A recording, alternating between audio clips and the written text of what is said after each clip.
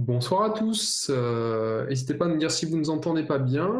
Euh, on est ce soir avec Anthony pour euh, vous parler un petit peu de design dans la vraie vie, c'est-à-dire faire de l'atomic design dans un vrai projet. Donc je vais se présenter, puis on expliquera un petit peu les conseils qu'on va voir ce soir ensemble. Donc moi je suis Mathieu, je suis développeur Java chez Ypon, donc principalement du back avec du Spring et ce genre de choses mais je touche également un petit peu à du front euh, avec du JavaScript, du TypeScript et du Angular euh, au quotidien. Je vais te laisser te présenter, Anthony. Alors moi, vous m'avez peut-être déjà vu plusieurs fois sur ce stream. Euh, d'habitude, je faisais plutôt du TypeScript. Ouais, je sais, je sais, la connexion de Mathieu est pas folle, mais bon, on va faire comme ça quand même parce que bah, il a pas de chance, il, a pas la meilleure connexion du monde, mais c'est pas grave. Euh, et du coup, euh, moi, vous, avez l'habitude de me voir sur TypeScript, euh, mais là ce soir, on va pas faire du TypeScript, on va faire du CSS. On l'aime bien quand même, ouais. On, l'aime bien quand même. Merci, merci. Je me moquerai. je, pense que j'ai pas le salut Pascal. du coup, ouais, ce soir, on va parler de comment on fait un, un design graphique. Euh, et du coup, on va utiliser une techno, enfin quelque chose, une méthode qui s'appelle Atomic Design. Je crois, Mathieu, que tu as lu euh, le bouquin, justement, une partie du bouquin. J'ai entamé le bouquin. Euh, donc, c'est un livre de Brad Frost qui est dispo pour une petite dizaine de dollars sur Internet. Donc voilà, euh, Anthony a la copie physique, moi j'ai la version e-book. Donc c'est une méthode, c'est un livre qui commence à dater un petit peu. C'est une méthode qui permet, pour faire simple, hein, on le verra pendant le live, de modulariser votre façon de faire euh, votre front et de faire vos composants front pour les rendre les plus petits possibles quand c'est pertinent et, euh, les, les, agencer ensemble quand il y a besoin. Enfin voilà, donc ça on verra pendant le live. Pour, faire, euh, pour mettre en place cet Atomic Design, concrètement, on va utiliser un outil qui s'appelle Pipi, qui est un outil euh, développé par Anthony, entre autres, hein, qui est euh, fondateur du projet. cet outil, on va avoir des technos dont vous êtes peut-être, sur lesquels vous êtes peut-être un petit peu familier si vous faites du front. De CSS, donc les développeurs back, ne fuyez pas tout de suite, n'ayez crainte. Donc on va faire du SAS, qui est un préprocesseur de CSS qui va être euh, donc d'avoir des features en plus dans le CSS, donc que ce soit fiable, des, des aussi, ça de faire de la réutilisation de code globalement. Euh, et euh, on va aussi utiliser Pug, qui est moteur de templating, un pré-processeur de HTML si, si on veut. Et, et, on va faire du un tout petit script. Normalement, on ne devrait pas en avoir besoin, mais ça peut euh, et ça nous permet, nous permet d'utiliser tout ça et ça nous permet de faire ce qu'on appelle une librairie, qui est une librairie de composants front utilisable derrière. Ouais, la protection coupe pas mal. Alors, juste pour reprendre le mot qui est important, qui a été dit par Mathieu, c'est une... on va faire euh, ce qu'on appelle une pattern library. Pug. Ah, il y a quelqu'un qui aime pas Pug, euh, visiblement, dans le chat. ouais, ben, on, on, va faire quand même du Pug, mais après, dans la vraie vie, on peut très bien faire du HTML. Là, TQI, il utilise, euh, il utilise Pug. Ouais, euh, on, est mieux, c'est bon. On va essayer comme ça, on va essayer euh, sans la cam. et puis on verra bien. Désolé. Ça va hier qu'on peut tester. Euh, ok, vous m'entendez mieux? Donc ouais, donc Pug, c'est en gros, ça permet de faire du HTML sans utiliser de balises et plutôt en utilisant de l'alimentation. Donc dans le cadre de TQI, vu qu'on fait des composants qui vont être plus petits, ça va nous permettre d'avoir un code HTML assez épuré, un petit peu moins lourd et donc de, de, c'est, on aime ou on n'aime pas, hein, c'est toujours pareil. Oui. oui. Euh, c'est ignoble pour la lisibilité tu demandes d'infliger ça aux développeurs front. Ben, effectivement, je suis d'accord que dans le cas de gros composants et de grandes pages, faire du Pug, c'est pas toujours évident. Mais dans le cadre d'une pattern library, je trouve que l'utilisation est assez sympa. Alors après, c'est mon avis. Hein. Je pense qu'Anthony sera de mon côté, mais on va vous montrer ce soir. Et après, c'est un choix. On peut aussi faire du HTML natif. Hein. C'est pas obligatoire. Alors avec TQI, moi, c'est vrai que j'ai pas ajouté le support euh, d'autre chose que Pug. Mais, euh, mais, vous êtes les bienvenus hein, si vous voulez faire des contributions, il n'y a pas de souci. Voilà. Euh, ce sera une forme de torture, j'espère pas, mais on va voir. Euh, donc euh, maintenant, je vais passer un peu à, mon setup. Donc déjà, en fait, là ici, ce que vous pouvez voir sur l'écran de rendu, donc là je passe, je passe ma souris dessus, vous pouvez voir. En fait, là c'est là où on va rendre des composants graphiques. Là, nous, ce soir, on va se concentrer sur ce qu'on appelle des atomes, en fait. Ouais, alors tu peux juste dire peut-être le cette partie là, c'est un truc qui est, euh, il a fait npm run serve dans son, il a créé une euh, pattern library avec TQI, il fait npm run serve et ça met à dispo dans un navigateur ce qu'on voit à droite là qui est, euh, bah, c'est, ce que TQI génère. Je crois que tu utilises Storybook derrière. Non, pas du tout. J'utilise pas du tout Storybook. Euh. ça y ressemble en fait. Derrière, ça te donne la librairie. Euh, en tout cas, moi, j'ai utilisé Storybook dans le cadre de Compose Angular et c'était. Ça, ressemble un peu à ce que Storybook permet de faire de la documentation. et en fait, l'idée de, de TQI, c'est de fabriquer une documentation. en fait, c'est d'orienter son développement par la documentation. Ouais. Cet écran de login est reconnu, oui, bah justement, euh, Pascal, je pense que tu connais un peu parce qu'on travaille ensemble sur la même mission. Euh, et euh, justement, ce soir, on va utiliser une, ce qu'on appelle un, outil qui s'appelle Zeppelin, qui nous permet de, voir des maquettes. Et ça, c'est les maquettes de bah, d'Arax, en fait, qui est un des clients chez lesquels on travaille chez Ipon. Et du coup, ils m'ont autorisé à, utiliser bah, la pattern library, enfin, Zeppelin pour ce soir. Comme ça, ça nous permettra de représenter des compos. Alors, évidemment, on va pas euh, faire tous les compos euh, du site d'Arax, évidemment. Donc, euh, là, ce soir, on va essayer de représenter globalement le template de login, mais on va clairement pas le faire en entier. Là, on va faire quelques compos. Donc, ça sera sans doute le. Déjà, on va, je pense, commencer par le bouton. Ouais, peut-être mets-toi sur la vue Zeppelin déjà pour montrer le bouton de plus près. Ouais, alors euh, du, coup, je reviens. Ah, je me suis trompé. C'est pas grave.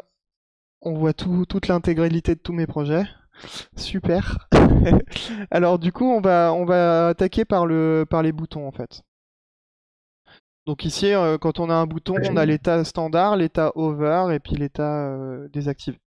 Voilà. pour, pour, remettre les concepts, pour ceux qui connaissent pas Atomic Design, donc euh, ça, ça, reprend des, des, concepts de chimie, hein, mais on va faire simple. Un atome, c'est la, la, plus petite unité qu'on peut avoir en Atomic Design, donc on peut pas descendre en dessous. Alors vous verrez qu'on utilise ce qu'on appelle des quarks, mais c'est pas quelque chose qui est conceptualisé dans le bouquin. donc on peut pas descendre en dessous. Et, donc on l'a, un bouton, ça peut être considéré comme un atome. Un label, ça peut être un atome aussi. Euh, même une zone de texte, ça peut être un atome. Euh, et le, le, formulaire, euh, le formulaire de login, c'est techniquement un organisme, je dirais. Bah, le formulaire, on, bah, verra, mais oui, c'est possible qu'on le traduise par, un organisme. On, verra un peu comment ça évolue. Pour le moment, je sais pas encore. c'est un, peu tôt. Alors je sais pas si j'ai perdu, si c'est que moi qui ai perdu le stream ou si le stream a été perdu, mais euh, c'est possible que ça soit que chez moi. Donc. Euh, je vais le rouvrir. Je pense que non, c'est bon. Donc là, en fait, ce que je suis en train de faire, c'est que je, vais créer. Euh, ça stream nos problèmes. Ok. Donc là, ce que je vais faire, c'est que je vais créer le bouton dans TQI. Donc pour ça, en fait, j'ai une commande qui s'appelle TQI CLI. C'est un, en fait, TQI CLI, c'est un CLI que qu'on a fait avec Arnaud justement, qui euh, qui m'aide aussi un peu pour faire euh, pour faire TQI, euh, sur lequel on va pouvoir ajouter grâce à ça des composants dans TQI sans avoir à se taper tous les fichiers pour faire ça. Donc là, ce que je vais faire, c'est que je, je l'utilise. Donc là, ça m'a créé le, le compo. Le compo, il a été créé, donc c'est un compo de boutons voilà, qui a été créé euh, dans euh, les atomes. Donc pour le moment, il apparaît pas parce qu'il faut que je le link. Alors pour le linker, c'est simple, je vais aller dans ma page d'atome, donc qui est déjà prête, parce que finalement TQI bah, me met une sorte de, documentation vierge, mais avec certaines pages euh, déjà découpées en Atomic Design, comme vous pouvez le voir. Donc avec la page atome. là, ce que je vais faire, c'est que je vais faire include d'un component doc. Alors désolé, hein, l'écran est pas incroyable parce que pour les besoins du stream, ben, j'essaye de, vous montrer à la fois le rendu, à la fois euh, euh, l'outil, à la fois euh, le zeppelin, donc ça fait beaucoup de, zones. Désolé, si jamais c'est trop petit, dites-moi quand même, mais normalement, je, vais avoir du mal à faire beaucoup mieux. quoi. donc là, en fait, ce qu'on fait, c'est qu'on part de la documentation. Donc en fait, je vais importer mon bouton Et moi, j'ai besoin d'un euh, markdown qui va décrire ce que c'est mon bouton. Donc si je fais ça, en fait, déjà, euh, à droite, vous voyez que la zone apparaît avec le bouton. Et là, on voit ce qu'a généré euh, bah, la commande TQI avec bah, la partie bouton et le, bah, le, titre ici qui est le même que le nom du compo. Euh, là ici on voit aussi qu'il a généré avec plib, en fait j'ai mis, euh, mis ici un, moins p euh, dans la commande qui permet de mettre un préfixe, ça permet de préfixer en fait bah, une classe CSS en l'occurrence. Alors du coup par défaut TQI il, met pas de, style. Donc je vais ajouter du style. Et du coup je vais être obligé d'importer ben, un, fichier Atom qui n'existe pas encore. Donc je le crée. Voilà. Il apparaît à côté euh, de, mon, de ce fichier Atom ici. Et ensuite, je vais importer mon bouton. Parce que mon bouton est un Atom. Voilà. Voilà, savoir que l'importation, c'est quelque chose qui est permis par, par SAS. Hein. Voilà, donc maintenant, euh, ici, euh, j'ai linké en quelque sorte mon style. ce que je vais pouvoir faire, c'est que je vais pouvoir m'occuper de mon bouton. Déjà, un, bouton, on va utiliser peut-être le tag button de HTML, je pense. C'est plus approprié. Alors en Pug ici, ça fait, ça fait à peu près, ça fait l'équivalent de ça. Donc euh, si on fait button, classe, plib-button, avec button et fin button. Ça fait exactement ça en fait euh, en rendu. D'ailleurs, on, le voit ici. Hein pour info. C'est vrai que, que le rendu euh, affiche la partie HTML et la partie Pug. en gros, le rendu, le rendu qu'on voit c'est comment utiliser la librairie en, dans, dans un projet euh, qui utilisait cette librairie. Ici, on a du Markdown, on a euh, le, on peut, du coup, on est capable de dire, de, changer bah, la valeur de qu'est-ce que c'est un button, etc. Attendez, je vais, je vais remettre comme ça. Et là, on peut dire que c'est le bouton principal, par exemple. Je sais pas ce que t'en penses. Oui, en vrai, c'est le. J'aurais mis default button plus ou primary button que main, parce que main ça veut tout et rien dire. Le clic qui capitalise pas les titles, ouais, mais euh, je pense que toi qui adores le, JavaScript, tu vas venir contribuer pour capitaliser ça ou pour permettre une autre option qui permette de le faire. je sens ta bonne volonté euh, sur ce genre de techno. Euh, donc maintenant, en fait, ce qu'on va faire, c'est que, ben voilà, j'ai défini grosso modo dans ma mixine au final. Donc une mixine, si on peut rappeler, en fait, ça permet de, faire une sorte, c'est comme une fonction qui renvoie euh, euh, ben, le, composant lui-même HTML, pour faire simple. Et du coup, on la, la mixine, on l'a appelée plib_button et on l'appelle dans le code ici avec un plus plib_button. Et du coup, ça nous permet de réutiliser euh, ce mixin plusieurs fois. Si on veut mettre deux buttons, ben, on peut le faire. Ah mince, ta femme à piscine, c'est vraiment dommage. Euh, toute ressemblance avec une euh, personne existante ou ayant existé serait fortuite. D'ailleurs, est-ce que cette autre personne est dans le chat ce soir? Peut-être. Je donne pas plus d'infos. donc, c'est bon, on a, on a déjà une partie euh, mais les mixins, c'est propre à TQI. Non, non, les mixins, ça fait partie de Pug. Un mixin, c'est un outil de Pug, ouais. On a dans SAS et dans Pug, ouais. J'ai parlé de mixin lié à SAS tout à l'heure, mais t'en as dans Pug aussi. Ouais, dans, dans SAS aussi, elle propose mixin. Alors, mixin dans SAS, juste pour montrer, hein, c'est avec mixin. Si on fait mixin, on peut nommer une mixin. Donc, euh, button par exemple. Et là, du coup, euh, on peut mettre euh, des propriétés CSS et l'utiliser avec include de euh, button. Bon, là, c'est pas très utile parce qu'il n'y a pas de, de, hmm. choses dans notre mixing, mais, mais on peut imaginer des choses. Variabiliser certaines valeurs, hein, c'est très. C'est le, un des trucs les plus utilisés avec l'extension dans SAS. Voilà. Donc là, en fait, maintenant, je vais pouvoir voir un peu les propriétés de mon composant. Alors je vais, je peux pas trop grossir, je suis désolé, mais je vais essayer de vous montrer parce que j'ai fait quand même une petite scène pour ça. Donc la vue Zeppelin, si vous voulez le voir un peu en plus gros. Donc ici en fait vous pouvez voir que Zeppelin me donne des infos sur mes composants. il me donne des infos, genre par exemple ici c'est 44, la taille en hauteur. Euh, bon, euh, je vais uniformiser un peu les tailles euh, par exemple autour du texte parce que 12 pixels en haut, 11 pixels en bas, c'est pas forcément terrible. 21 pixels, c'est pas forcément terrible, on va essayer de trouver des valeurs un peu plus parlantes. Mais l'idée c'est que mon bouton au total il fasse 44 pixels en hauteur, on va imaginer qu'il y a une marge en haut, etc. Et la taille en largeur c'est pas trop important. Alors dans ça, si tu connais... Ok, d'accord. Mais ouais, ouais, bah dans un Pug, euh, ça fait ça. Il y a d'autres langages qui font sans doute ça de templating. Moi, je connais pas trop. Je, je sais pas si vous connaissez d'autres langages de templating qui font des mixins, mais c'est un terme qui, est devenu assez commun pourtant, donc euh, je suppose qu'il y a d'autres langages qui le font. Euh, donc maintenant, je vais pouvoir aller ici et on va se dire que ben, mon bouton, au final, admettons, il a une hauteur de, on a dit 44 pixels. Hein. Ouais. Donc si je raffiche, parce que sinon on va pas voir, euh, pas sur la rendu ici. Donc là je, viens de mettre dans mon code 44 pixels. Et au final, mhm. euh, mon bouton ici maintenant il a 44 pixels. Alors je vois instantanément là en passant ma souris dessus que le bouton, bah, par exemple, il a pas de feedback visuel comme quoi il est cliquable. Souvent c'est quelque chose que j'aime bien faire. Euh, c'est-à-dire ajouter un curseur en pointeur. Et c'est euh, assez commun d'ailleurs dans le web de faire ça, pour info. Donc ici maintenant mon bouton bah, est cliquable. Est-ce qu'on lui donnerait pas de la couleur à notre bouton? Et ça représente quoi une mixine Alors ici nous ça représente un bouton la mixine et ça va nous permettre de le réutiliser par exemple ailleurs si, si on veut composer notre bouton avec autre chose, par exemple un champ. Bah, on va pouvoir réutiliser ça dans l'endroit où on va représenter notre champ avec notre euh, bouton. Et, dans Atomic Design, on appellerait ça une molécule, par exemple. Mhm. Donc c'est vraiment utile pour ça.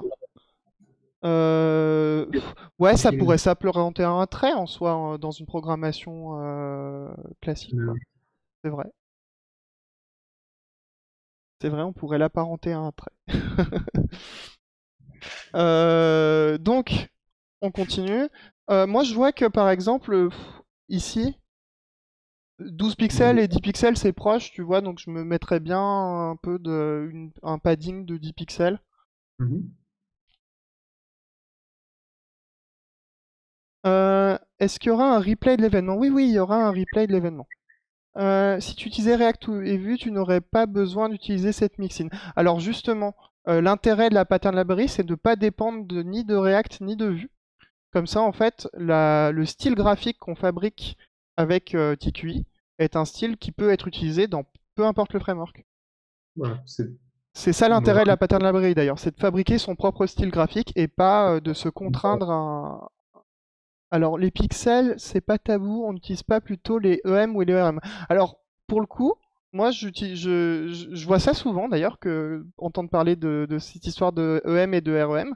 Mais en fait, pour savoir, déjà, EM, c'est euh, euh, c'est par rapport à. C'est une taille, par exemple, en, en pixels. Enfin, une taille 1 EM, c'est égal à la taille de la police euh, du composant. Enfin, à partir du composant parent. En gros, le composant parent, il a 12 pixels. Si on, un, si on met une classe qui, qui est de 1 EM, elle fera 12 pixels si elle est en enfant de, ce, composant parent.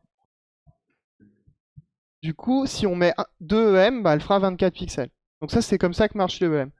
Et les REM, c'est par rapport aux routes, donc à la taille euh, que as dans le qu'on a à la toute base du site, par exemple, notamment dans le 2.route. Et on va, par exemple, si on met, euh, je sais pas moi, 40 euh, pixels dans le route, eh ben euh, ça va prendre le REM sera de 40 même si on a défini dans, dans, un, dans un conteneur une taille plus petite ou autre chose quoi. Il n'y a pas de piscine en ce moment. Euh, donc ouais, ouais, euh, les, les, les, REM et les EM, c'est surtout par rapport à ça. Et là, pour le coup, moi, pour la taille en hauteur d'un bouton, je vois pas trop l'intérêt d'utiliser autre chose que du pixel, hein, pour le coup, euh, pour ce genre de compo. Après, c'est vrai que si on voit qu'il y a une règle qui émane qui est en fonction d'une taille en pixel, bah oui, ça peut être utile. Donc là et maintenant, j'ai mon, j'ai mon bouton en 44 pixels. Alors je suis pas sûr, je vais essayer de vérifier, mais je pense qu'il fait pas 44 ou alors pas exactement. Essayez de le voir dans le computed.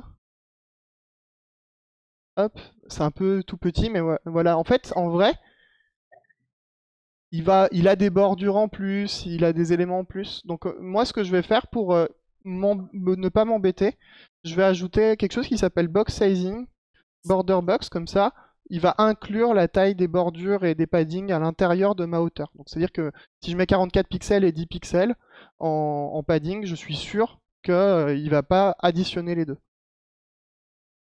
Bon, c'est pas ultra important pour notre cas, mais euh, disons que ça, va, ça peut nous aider pour les, des calculs. Ouais, ça pas mal d'écueils par la suite. Pour info, il y a des outils comme ben, Bootstrap que vous connaissez peut-être qui euh, annulent en fait ces tailles-là par défaut. Alors je, vais remettre un peu ma caméra parce que je vois que des fois je sors un peu du cadre. Euh, quand je me baisse un peu. Euh, donc maintenant ce que je vais faire, c'est que je vais euh, déterminer, ben, je vais enlever les bordures parce qu'au final il n'y a pas de bordure. Voilà. Qu'est-ce qu'on a aussi? On a une couleur de fond. Il y a moyen en Pug pour générer un fichier HTML en plus du Pug. Alors en vrai c'est ce qu'il fait, hein. ici il génère du HTML euh, moi, ce que je fais, c'est que, c'est que la pattern library, je peux la builder, et à la fin, c'est du HTML et du CSS qui est généré mmh. par la pattern library. Mmh. Tu peux... Par défaut, si tu installes Pug sur ta machine, en fait, tu peux euh, faire, euh, tu peux transpiler, entre guillemets, transpiler, hein, ton, ton, ton Pug en HTML avec une ligne de commande facilement. Mmh, et c'est ce que fait TQI finalement, hein, mais, mais c'est, tout ça, c'est transparent, c'est derrière. Euh, et, là, et là, on a activé le mode serve qui le fait à la volée, euh, par exemple. Mais ça, par exemple, le mode serve qu'on a activé qui nous permet d'avoir du live reload, ben, par exemple, il est pas, euh, comment dire, il, il faut pas l'utiliser, enfin démarrer ça en prod, quoi. En prod, tu vas servir tes, ressources statiques et ça sera que des ressources statiques à la fin. Je sais pas si j'ai un peu répondu à tout ça, mais on verra bien. Donc, pas de bordure, ok.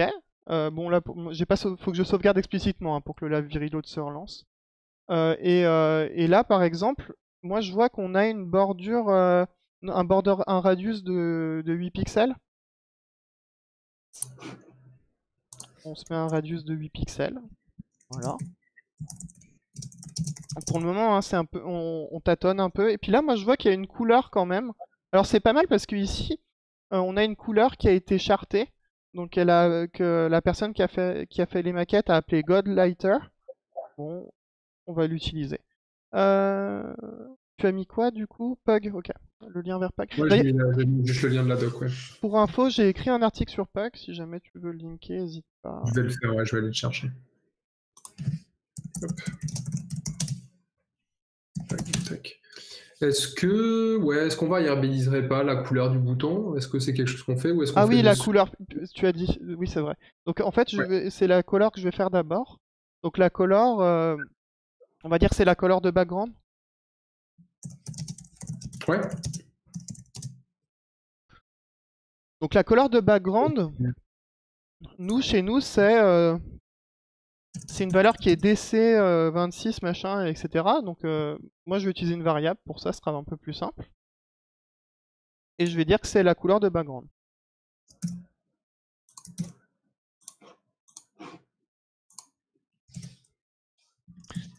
Voilà. Ok, super. Je regarde un peu. Ok. Donc là, maintenant, ici, on a bien notre bouton qui a la bonne couleur de background, super. Euh, là, ici, moi, je remarque que notre texte, déjà, il n'est pas dans la bonne couleur. Mm-hmm. Notre texte, euh, moi, ce que je vois, c'est qu'il doit être en... Déjà, il doit y avoir mm. une size de 16 pixels. Alors, pour le moment, je mets toutes les valeurs en pixels. Hein. Euh, après, on verra plus tard si on, si on a besoin ou pas d'enlever ces valeurs. Ok, merci. Merci pour l'article. Donc là, j'ai 16 pixels, super. Et euh, je vois que dans, tout, le temps dans mes boutons, euh, ils vont être en, tout le temps en majuscule. Je crois que je suis bloqué. Attends, je vais enlever la cam. euh, merde, c'est pas c'est texte transform. je suis gouré en.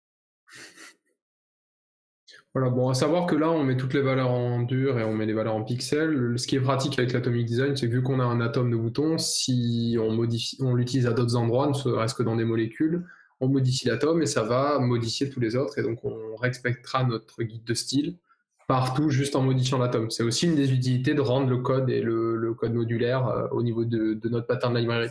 C'est une des utilités principales même. D'être ah. cohérent partout facilement. Alors après, euh, ouais, et du coup maintenant on va avoir une fonte family qui sera Roboto. Alors Roboto, mais je ne l'ai pas importé. Donc euh, va falloir l'importer. Et Roboto, c'est une pour info, c'est une police sans sérif, donc je vais ajouter le fait que c'est une sans sérif aussi. Voilà. Pardon. J'ai ouvert un onglet au mauvais endroit. Je voulais vérifier un truc. Yes, il y avait bien une virgule. C'est parce que je le fais tellement souvent. Euh, je le fais tellement souvent que, que, ça se voit.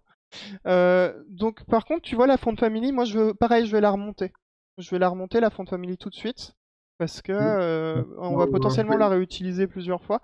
Et puis là, la fonte family, pour le moment, on l'a pas trop déterminé. Euh, c'est-à-dire que la fonte family, on a mis que c'était Roboto et sans sérif. Mmh mais en soi, en soi, on n'a même pas importé rien que la police Roboto, quoi. Je sais pas si tu vois ce que je veux dire. Mmh. Pour le moment, la, les, les, polices, c'est les polices de mon système d'exploitation. Mais, on, mais justement, dans le style, on, enfin, on a dit nulle part que Roboto existait en fait. D'accord, oui, oui, oui. Et du coup, tu... enfin, on va peut-être faire la police et on expliquera euh, le, concept des quarks pour les remonter à un autre endroit plus centralisé. Alors, pour les quarks, on verra. Je sais pas si on verra ça maintenant. Et par contre, on va voir comment on importe la police. C'est pas, ça va pas être très très complexe.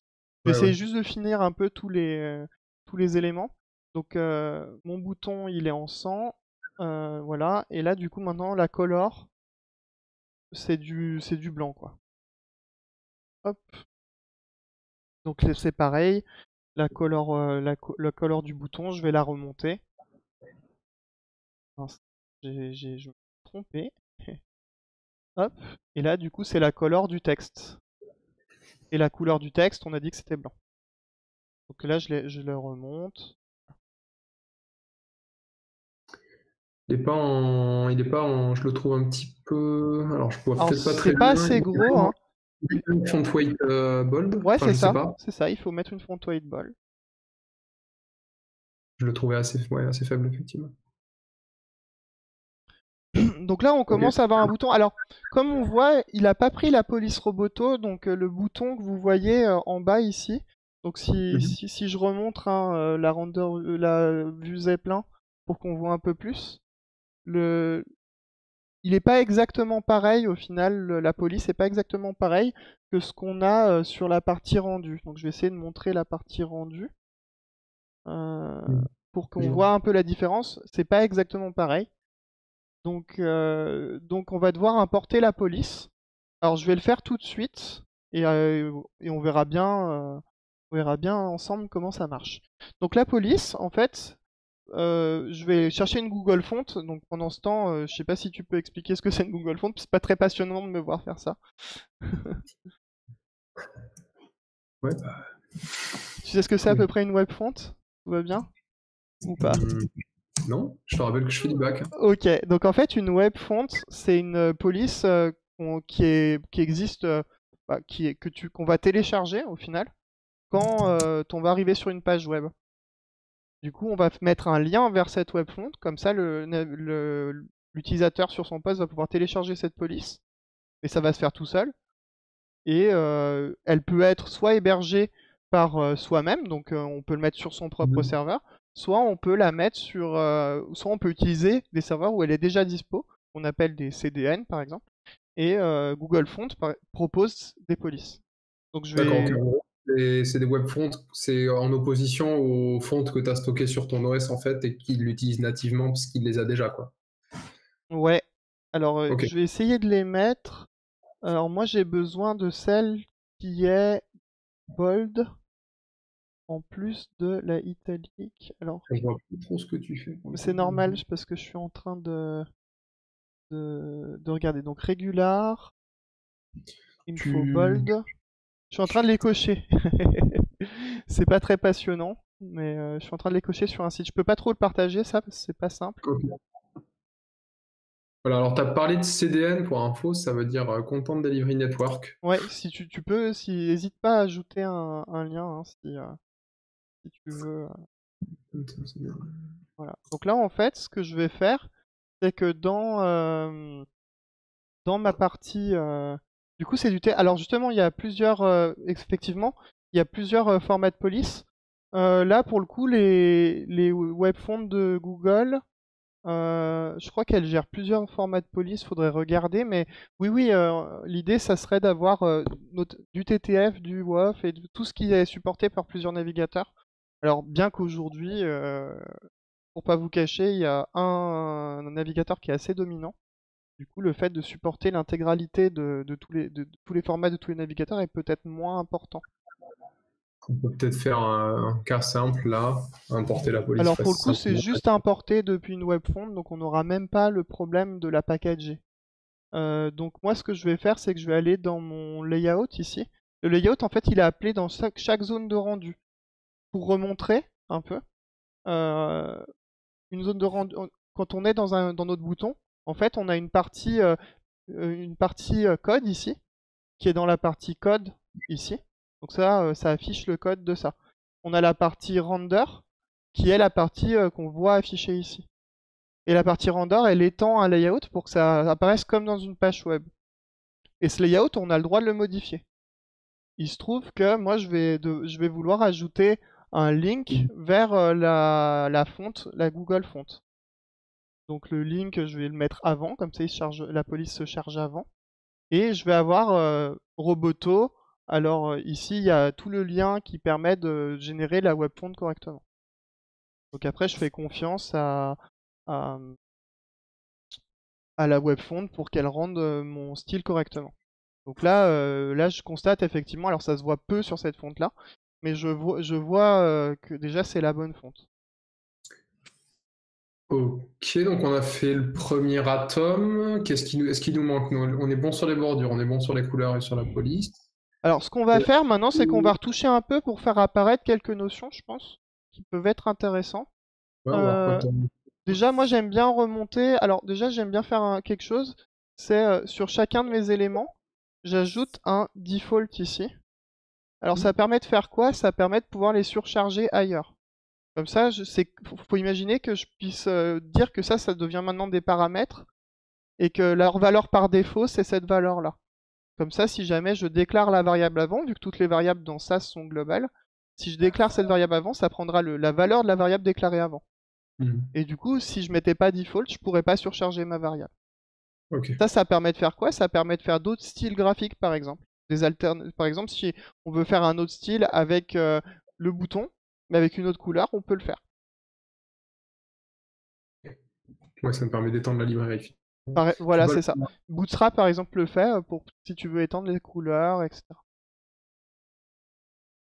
Euh, donc, je vais remonter les valeurs. Moi, j'aime bien remonter euh, plus- plusieurs valeurs. Donc, par exemple, euh, le- le- la height, la, le padding, etc., pour que ça soit des valeurs que je vois directement.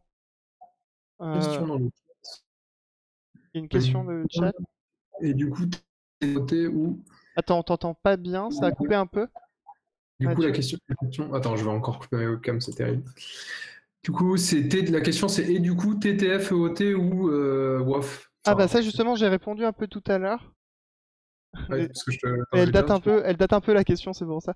Mais euh, il y a, ouais, j'ai répondu un peu tout à l'heure du coup sur ça. Euh, Aujourd'hui, euh, c'est bien de faire en sorte que la police. Alors après, je connais pas, euh, vu qu'en général j'utilise les web fonts, je sais pas laquelle fonte. Je pense que TTF est plutôt bien supporté. C'est peut-être pas pertinent aujourd'hui de mettre toutes les polices. C'est ça que je voulais dire. Hmm. Mais Ouais, c'est des formats que- de police différents en fait, si tu veux. Je pense que la question, c'est euh, oui, la- laquelle est la, la plus pertinente. Je pense que c'est plus ça l'idée.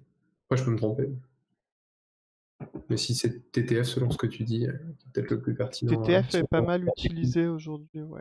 Mais après, euh, globalement, les, les, les enfin, les outils de web font euh, fabriquent dans plusieurs euh, fonts possibles pour que justement ça marche sur plusieurs navigateurs. Donc, donc même si on fabrique sa propre police, c'est assez facile d'avoir plusieurs formats. Et on peut gérer justement parce qu'en fait, les... il, y a des... il y a des choses en CSS qui permettent de déclarer les polices. Et du coup, on peut mettre plusieurs fichiers. Du WOF, euh, du, du TTF, etc. Comme un gouvernement pour l'interrogation. Comme un gouvernement. Alors, j'ai pas compris, euh, du coup, j'ai peut-être euh, j'ai peut-être zappé quelque chose. Faut nous expliquer la blague, je pense. Ouais. Ah, ok, d'accord. Ah oui, non, mais euh, depuis, depuis le début cette semaine, j'ai plus l'habitude de ces blagues-là, mais euh, du coup, euh, j'ai vu qu'il y a certaines personnes ouais, dans ce chat qui sont, qui sont très très friandes de ce genre d'humour.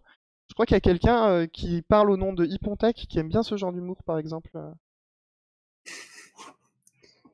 Voilà. Donc là, ici, par exemple, ce que j'ai vu, tu vois, c'est que c'est cette valeur-là c'est une couleur et souvent les couleurs elles sont absolument pas. Euh, les couleurs elles sont souvent chartées. Et en fait, chez moi j'appelle ça des, tokens en fait. Euh, c'est pas mhm. que moi hein, qui appelle ça. C'est que globalement euh, c'est assez admis aujourd'hui qu'on appelle ça des tokens. Donc en fait, ce que je vais faire c'est que je vais créer un token de couleur. allez, on va dire que c'est un token, comme ça c'est explicite. C'est un token de couleur. Et la color, on va dire que c'est main light parce qu'en fait gold light j'aime pas trop parce que gold c'est la valeur de la couleur. Et main ça, ça me semble plus logique. Si jamais on veut changer cette couleur plus tard ben, mhm. le, nom sémantique sera un peu mieux avec main qu'avec euh, qu'avec gold. Tu en dehors des couleurs qu'est-ce qui rentre dans le cadre des tokens du coup?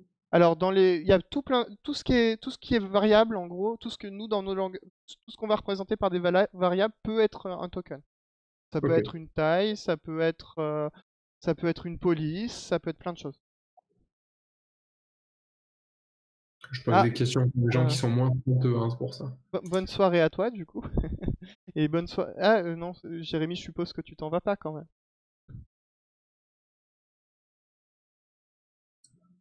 Ok, tu les remontes, tu vas les remonter un petit peu plus haut peut-être? Justement, je les mets en séparation parce qu'après, je vais pas les laisser dans ce fichier, effectivement. Oui, c'était ça ma, suggestion. Et euh, là, c'est pareil, tu vois ici, au final, c'est une couleur de texte. Euh, c'est une couleur de texte, donc là, je vais faire une, couleur pour le texte. Alors, c'est une couleur de texte qui est. Alors, moi, je, je vois que souvent, c'est des couleurs qui vont être utilisées comme des nuances, donc j'ai l'habitude de dire que c'est une nuance. Donc, en anglais, shade. Voilà. Et une shade, on va dire que euh, bah, elle, euh, elle, a toutes les couleurs du spectre parce que c'est du blanc. Du coup, on va dire qu'elle a 100% de ses couleurs. Donc, moi, je l'appelle shade 100. Comme ça, si par exemple on décide que la couleur absolue, ça soit une autre couleur, bah, on est capable de la changer. Et on a cette notion de nuance. Et shade 100, ce qui est pas mal, c'est si on fait un, thème, tu vois, qui est euh, qui inverse les couleurs, bah, c'est du coup c'est l'absence de couleur, donc ça marche aussi il y a cette notion de sémantique, elle marche pour les deux cas. Ou en gros, c'est une bonne pratique de, dès que tu définis des couleurs, de mettre la notion de shade dans le nom, comme ça au moins. Hein. Alors moi, c'est une pratique que j'utilise, que je trouve assez pratique pour ça, parce que ça permet de, ça permet tout de suite d'avoir des noms corrects. Donc moi, c'est des noms que j'utilise beaucoup. Et le et nommer, c'est assez pratique pour la suite justement, pour pas trop se perdre. Globalement, nommer les choses, c'est une, une bonne chose. Parce que là, c'est même en bas qu'on fait ça. Alors, moi, j'ai vu qu'on avait un token pour de la fonte.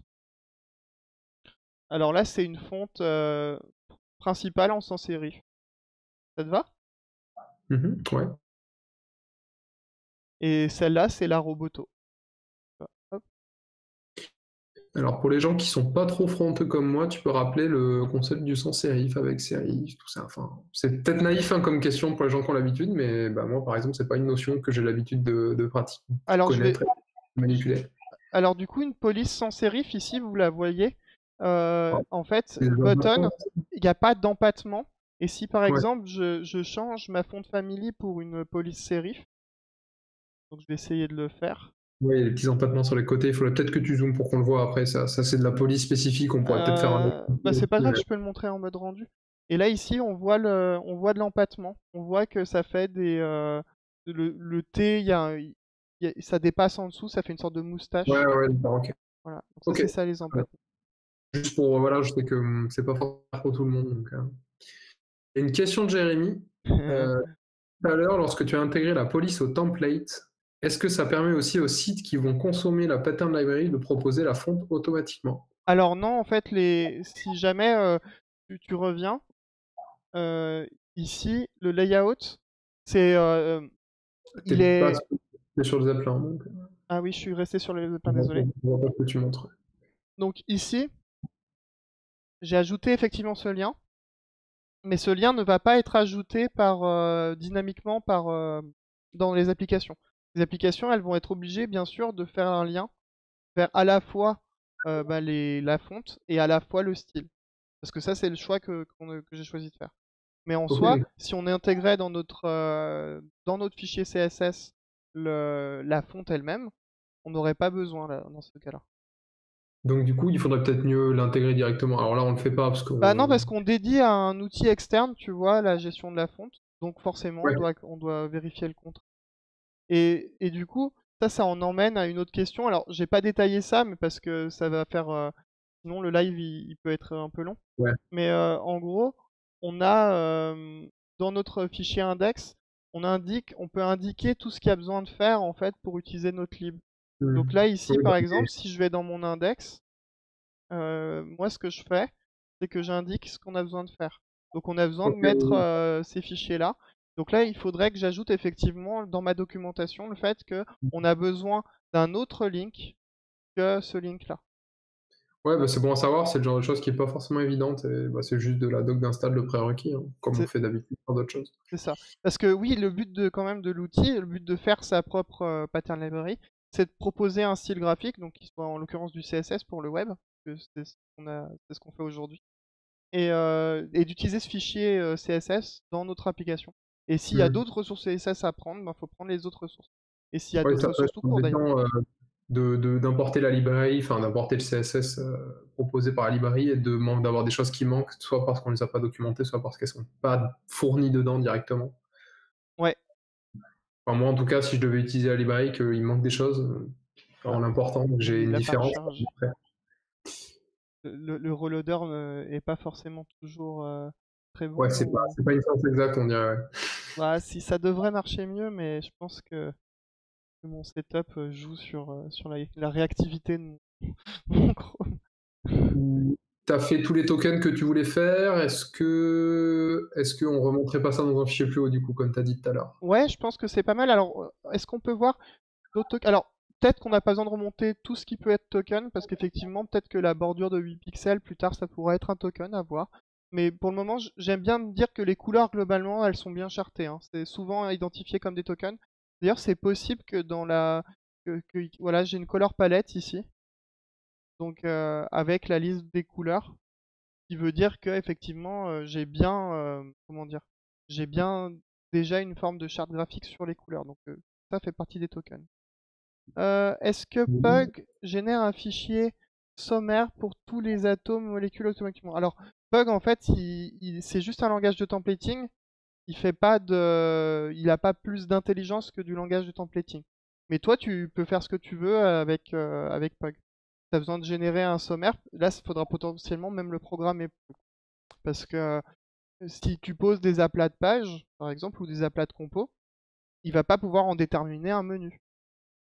Je sais pas si vous voyez un peu ce que je veux dire. Il n'y a pas d'un- une intelligence. euh, Pug, c'est juste un langage euh, de templating. C'est pas un langage. euh, Alors après, pour le coup, c'est juste TQI qui va te, qui a la potentialité de te générer un sommaire avec tes atomes et tes molécules. Là, c'est ce qu'on voit d'ailleurs, ce qu'on voit à droite. hein. C'est- Euh, ouais, mais je je suppose que le sommaire dont on veut parler, c'est peut-être la une partie à gauche qui, tu vois, avec la liste des- de tous les Ah atomes. oui, oui. Peut-être ça ça, que- c'est plus, c'est c'est une- plus une feature à ajouter, plus à TQI C'est ça. coup, potentiellement. Et vous êtes toujours bienvenus pour contribuer, ce qu'on a dit. Mais là, par mis, contre, pour faire ça, on va avoir besoin de soit détecter, par exemple, en JavaScript, la liste de tous les, euh, tous les atomes de la page pour pouvoir les remonter dans des menus.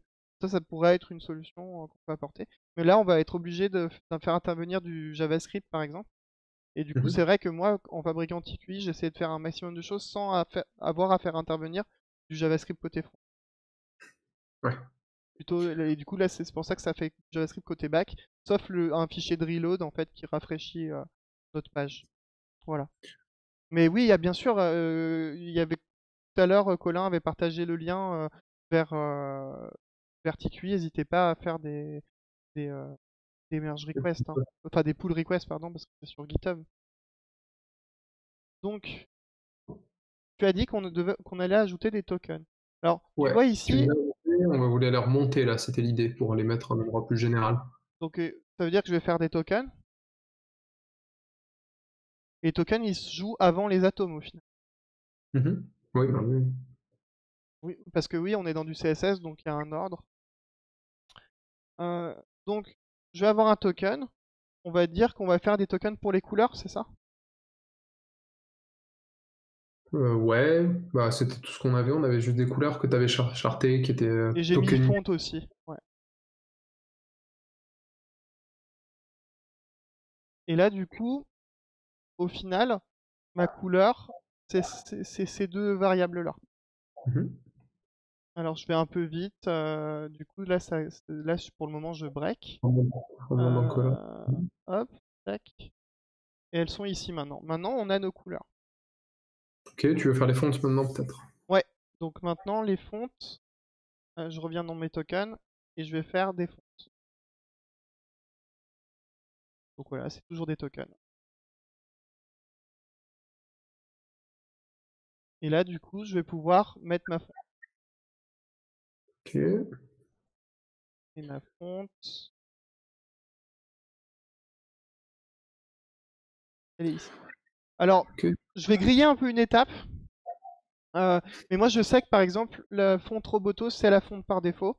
Et 16 pixels, c'est la taille par défaut.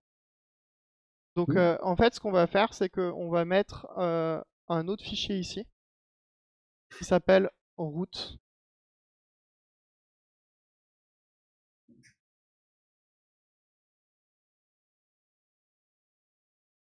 Et route, en fait, ce qu'il va faire, c'est qu'il va avec deux points route.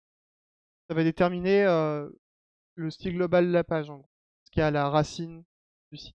Donc tout ce qui va être en dessous va hériter de ça, pour faire ça. Et euh, là, du coup, par exemple, j'avais un, j'avais une police, une font family, qui est celle-ci. Alors, il se trouve que pour le button, il me semble que le button il surcharge le route, mais euh, et la police aussi, donc je vais les, quand même les laisser ici mais euh, la plupart des compos, enfin en HTML, vont hériter euh, du style de route. Hein. Ok. Donc tu veux dire le button au sens euh, button HTML pur. Hein. Ouais. Et là, du coup, dans mon. Alors, j'ai fermé route. Et je suis trop fort. Et là, du coup, je vais dire que la fonte family, au final, ben, c'est ma plib token. on a dit que c'était la, cette fonte family.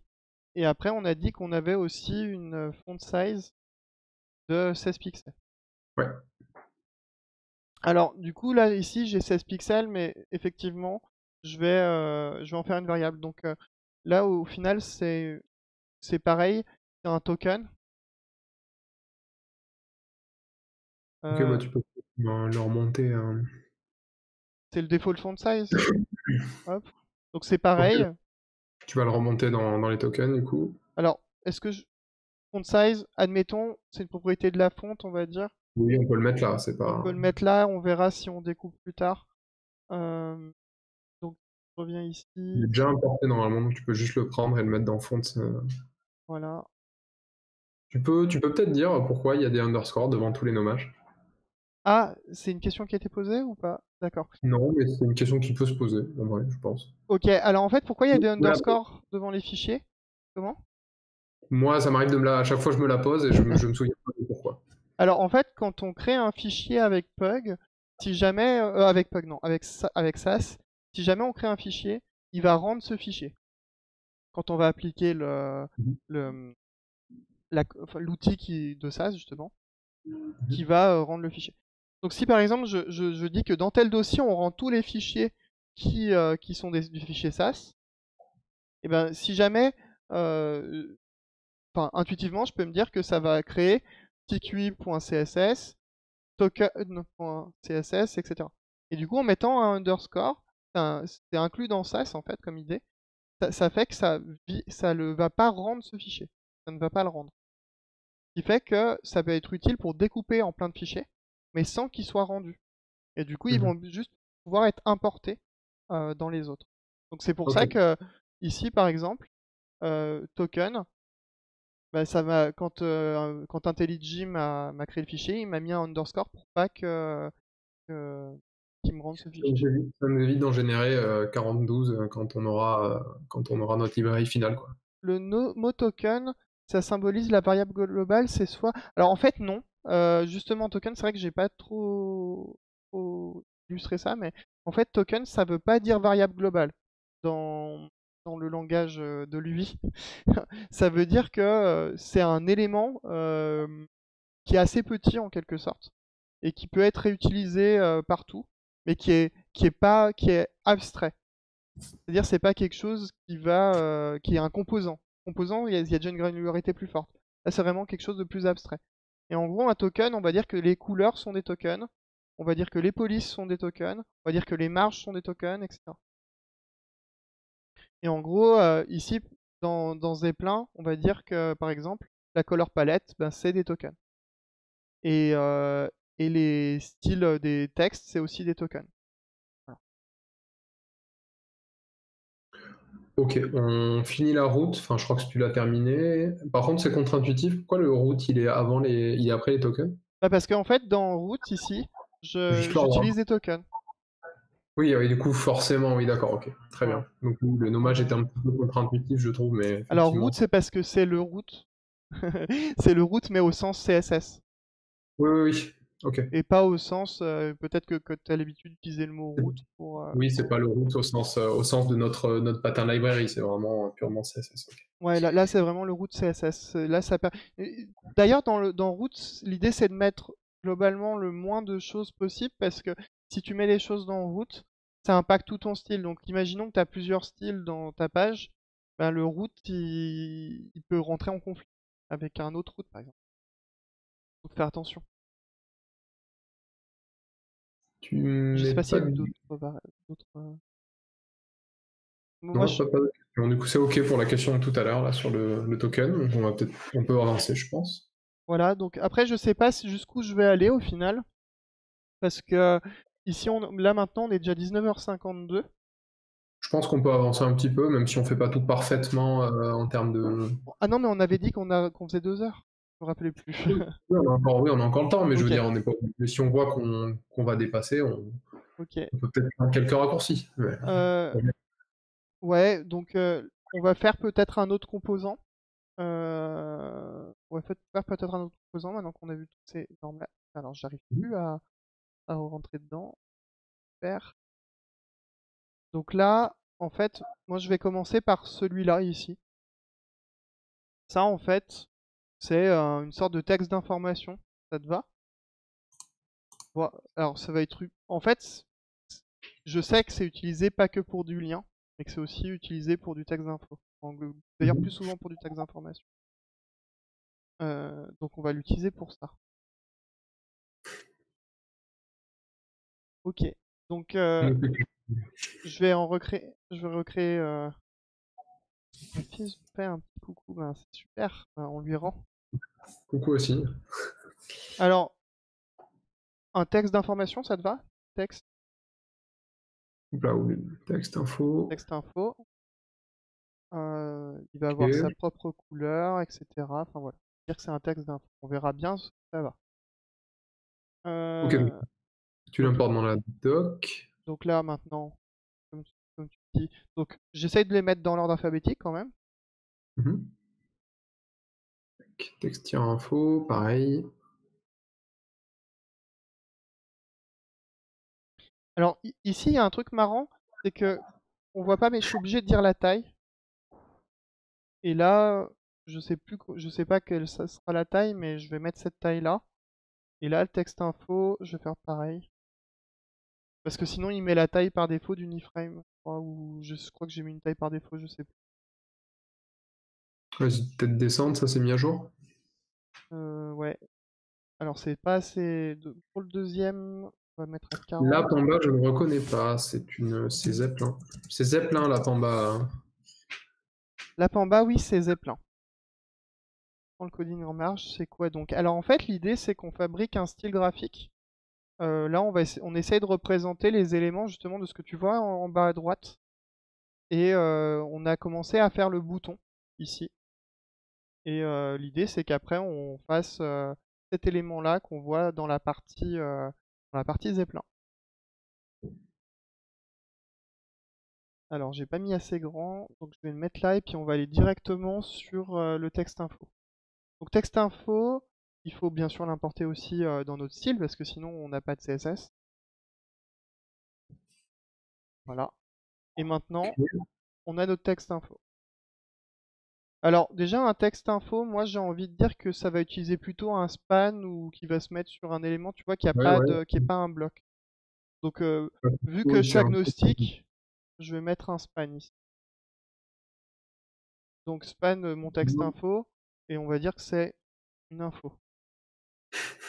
Voilà. Euh, super. Pas de souci.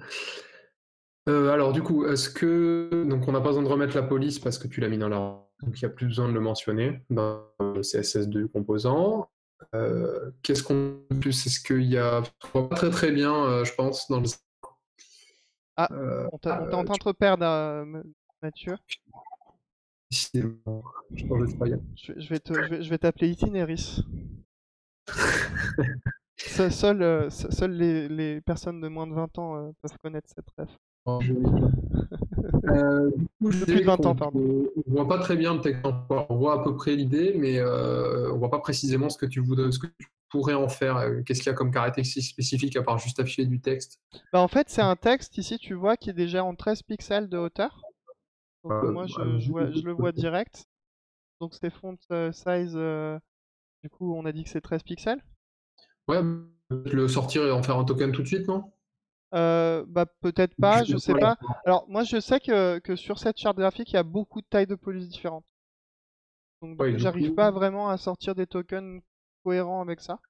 Mais euh, ça c'est parce que je le sais. Mais effectivement, euh, une bonne idée ça serait de la sortir en token. Alors du coup je vais peut-être pas le faire vu que je sais que ça va nous être un peu galère par la suite. Du, du coup, par rapport à ce que tu dis, ça peut être, on peut peut-être se dire que c'est une bonne pratique quand on fait une pattern library d'attendre d'avoir fini certains bouts de la pattern library avant d'extraire des tokens pour éviter Bah, d'en sortir. En fait, Ouais. en, en vrai, le token, ça peut être aussi un bon outil. Par exemple, le fait qu'on voit qu'il y ait 40 polices différentes, peut-être que c'est pas très bien et qu'il faut en discuter avec la personne qui fait, euh, qui fait le maquettes. Faire beaucoup de, de feedback pour déterminer quels sont les tokens, justement. Parce que les tokens, Ok. c'est des choses utilisées par les designers. Ok, très bien. Donc, c'est text euh, transform, toujours pareil. Tu vois que c'est tout en majuscule. Alors euh, voilà, donc tu vois que ça a marché. Et maintenant, donc euh, on est toujours en roboto, parfait. La font size elle est bonne et on est en bold. Ok. Donc là, on va se mettre en bold. C'est parti. Donc là, ça commence à ressembler, mais il manque encore quelque chose. hein. Euh, je te laisse deviner quoi. C'est pas les, les paddings ou whatever? Alors, il n'y a pas de padding euh, sur le sur euh, le sur cet atome. Je te dis, on voit rien. Ah, on, on voit pas bien? Mais On voit à peine ton texte en dessous, en fait. C'est le. Ah oui, voilà, merci. Effectivement. Bah, on a une couleur, euh, c'est gris. Ouais, bravo, la couleur. Mais ça, wow. Eh, futur développeur front expert. Bah oui, je, je vois, je vois.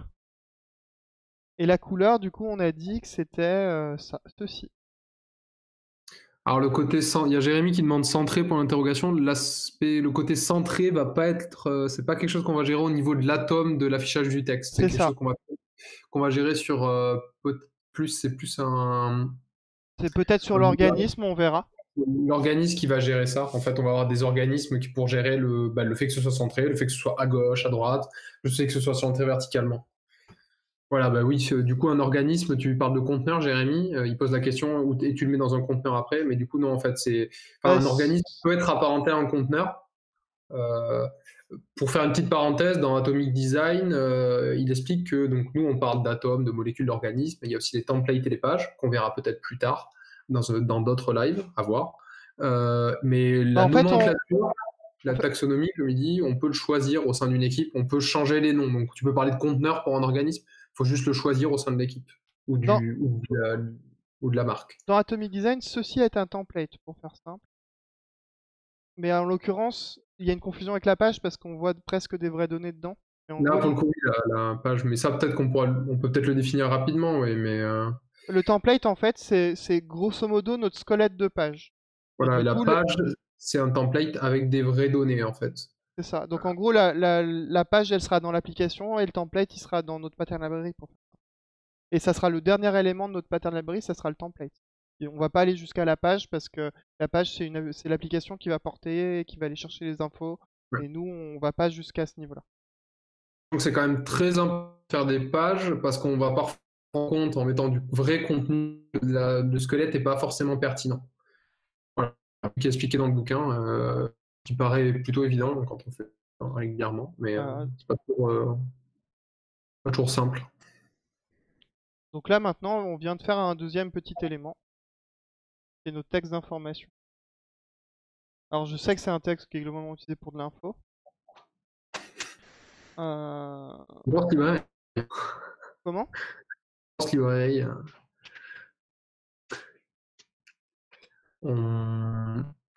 On n'a pas veut remonter les, les variables, on s'en fiche pour l'instant. Alors on va remonter celle-là parce que tu vois qu'au final ça ressemble beaucoup à un token. hein, euh, Comme d'hab, on a une couleur. Donc ça c'est Ouais. un token. Euh, donc c'est un token de euh, une couleur de. Là en l'occurrence je l'utilise pour du texte. Et c'est une shade euh, 50 en l'occurrence.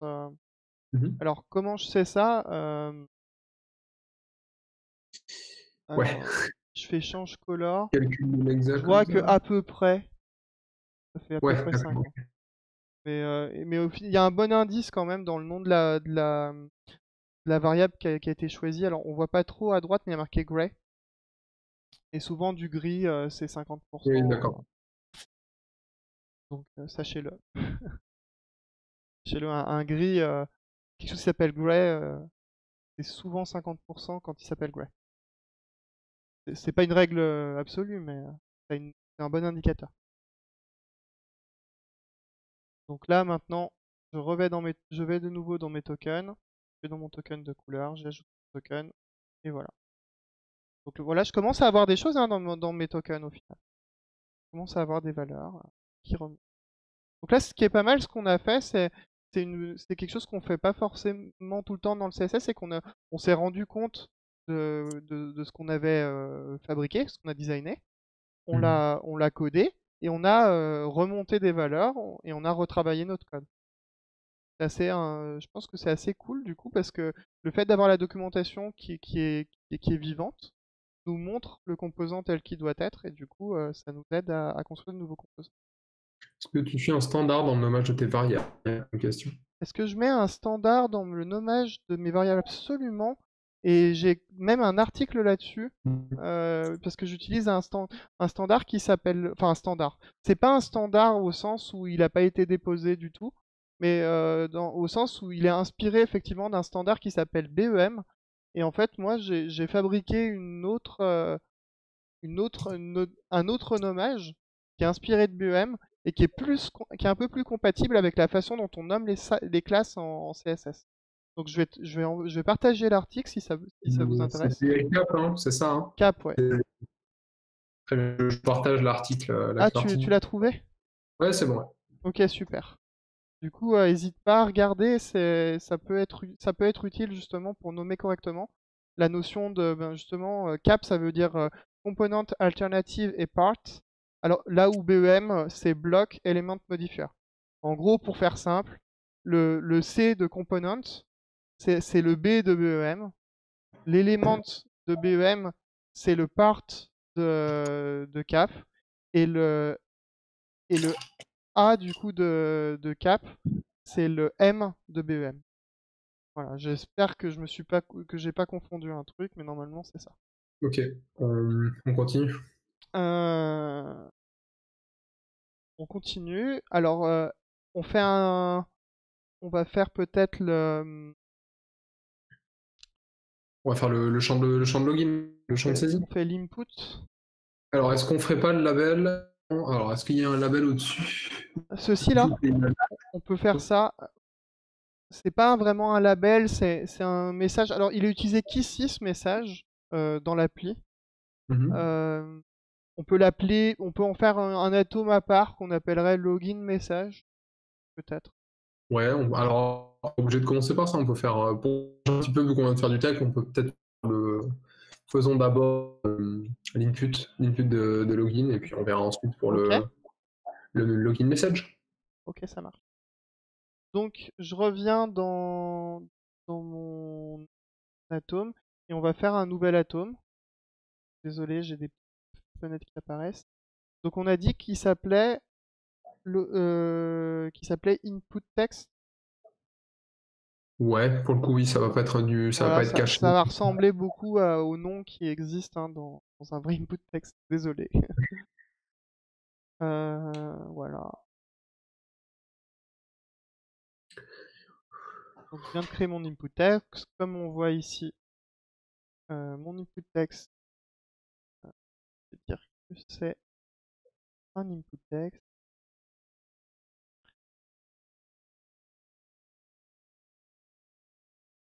Et euh, I c'est avant euh, T, donc, donc je le mets avant. Je vais en profiter pour me le mettre ici texte. Et là, du coup, maintenant j'ai mon style. Donc, si je vais sur mon input text, j'ai la partie euh, description. Donc, je vais dire que c'est un input text. On va l'écrire un peu mieux avec un espace et tout. Donc, ça, c'est ça, c'est la, la PR qui a proposé d'écrire Colin, c'est ça? Euh, et du coup, ensuite, on va me dire que c'est un input. Et là, un input, il n'a pas de valeur. Enfin, il n'a pas de valeur à droite ici. Oui, c'est, ça. Par contre, nous, ici, on voit qu'il y a un placeholder avec marqué mail. Mm-hmm. Donc, je vais mettre un placeholder et je vais dire que c'est placeholder parce que nous, on, on va pas mettre euh, de, de sémantique, si tu veux. Oui, il n'y a pas besoin de dire beaucoup plus à vrai dire pour l'instant. Euh, voilà, donc là ici on voit notre input text euh, avec un placeholder, on est content, euh, un placeholder, super. C'est pas mal de choses à faire, on Voilà, donc on va dans notre style. Qu'est-ce qu'on a Alors, je vais... Alors je vais regarder, déjà on a un machin qui s'appelle Light, tu vois, donc c'est une nouvelle couleur. Donc euh, je vais en profiter pour l'ajouter dans mes tokens tout de suite, tu vois. Mmh là je l'ai vu. Et Greylite, c'est cette euh, valeur-là. Donc pour le moment, je mets 42 ici parce que je sais pas encore à peu près ce à quoi ça représente en termes de luminosité. Et euh, du coup, vu qu'IntelliJ est assez cool avec moi, il me dit, tu vois, les valeurs. Donc là, le Greylite, grosso modo, il est à 98 du coup, j'ai tendance à dire 95, tu vois, je sais pas. On mhm. essaye. Ouais, c'est pas la peine d'être précis euh, au chiffre près. Voilà. 5 par 5. Et là, du coup, euh, je peux maintenant utiliser cette valeur-là. Et là, c'est utilisé pas pour du texte au final, c'est utilisé pour du fil. Donc je vais mhm. séparer un peu ma notion de texte, ma notion de fil. Euh. Ok. Donc maintenant, je vais retourner dans mon texte. Et du coup, on va directement dire que euh, bah, euh, c'est cette valeur-là. Alors, on peut, bien sûr, je vais, je vais, je vais euh, en faire une variable quand même de compo. Ici. Est-ce que tu montreras par la suite comment implémenter TQI dans un projet React ou Vue? Alors, c'est c'est possible, bien beaucoup plus tard. ouais, c'est possible, mais dans des lives, euh, dans des lives ultérieurs. On pourra, on peut peut-être en parler un tout petit peu. C'est assez simple, hein, c'est assez simple de le, de le faire, mais c'est pas, on va pas le montrer là tout de suite dans l'état. Ouais, parce qu'il faut qu'on crée quand même plusieurs compos. Faut qu'on ait au moins un template, si tu veux, pour pouvoir le mettre dans un projet du. Ah, le cœur du sujet là actuellement, c'est vraiment créer la pattern library, utiliser les concepts de l'atomic design, l'intégration dans un vrai projet c'est pas anecdotique non plus, mais c'est pas la partie la plus, euh, la plus complexe. Au final, ouais, c'est c'est pas la partie là, qui est. Qui est... Globalement, un link rel à faire dans le projet cible, en fait. Théoriquement, parce que ça nous produit juste du. Alors, alors je sais que le- l'input text c'est pas le bon, mais qu'on a utilisé, un- il me semble un autre d'ailleurs, euh, parce qu'il n'était pas uniforme dans la, de la pattern library, mais c'est pas grave. Euh, L'idée c'est que je vais ajouter la notion de bordure quand même, parce que la notion de bordure, par exemple, souvent, tu vois, quand tu as une erreur dans ton champ, et ben tu as une bordure euh, en rouge ou des choses comme ça, tu vois. Mhm. Donc je vais le représenter ça aussi. Du coup, je vais mettre la même valeur pour ma bordure. Donc c'est une. euh, Alors j'ai mis input text color background et du coup c'est input text color border, tu vois, Mhm. qui a la même valeur. Donc là je vais mettre une border. Donc c'est une border euh, qui est de 1 pixel, on va dire, qui est solide du coup, et qui est de la couleur de la bordure. Donc tout va bien. On a notre bordure. Euh, ensuite, Ouais, Pa- Pascal qui nous dit que ce serait top un autre live avec l'intégration dans une vraie app. Bah, ok. Ouais, bien sûr, et même on pourrait faire euh, plusieurs apps, hein. Une Angular, une, une React, mais, euh, mais d'ailleurs, euh, si tu veux participer à, à ça dans des prochains lives, n'hésite pas aussi. Il y a... Moi, je suis chaud pour ça, il n'y a pas de problème. Par contre, on va quand même faire plusieurs lives, je pense, pour euh, avoir un ensemble de compos euh, Mhm. pour faire ça. Y aura une pattern library bah, assez suffisamment conséquente. Ouais. Pour qu'elle ait de l'intérêt dans une vraie app, en fait. Donc, ce qu'on peut faire maintenant, c'est qu'on a notre couleur, notre border. Euh, là, par exemple, on a une taille euh, du champ. Pour le moment, je vais pas m'embêter, je veux dire que c'est une taille de 44 pixels. C'est ce qui a marqué. hein, euh. Voilà. Et ensuite, on a des border radius qui sont, tu vois, de 8 pixels. On revoit cette valeur qui revient. C'est la deuxième fois qu'on voit un border radius de 8 pixels. On peut imaginer que c'est un radius qui commence à être pas mal utilisé.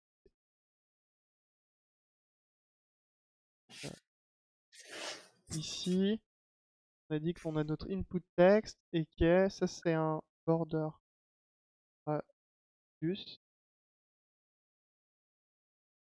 et de 8 pixels.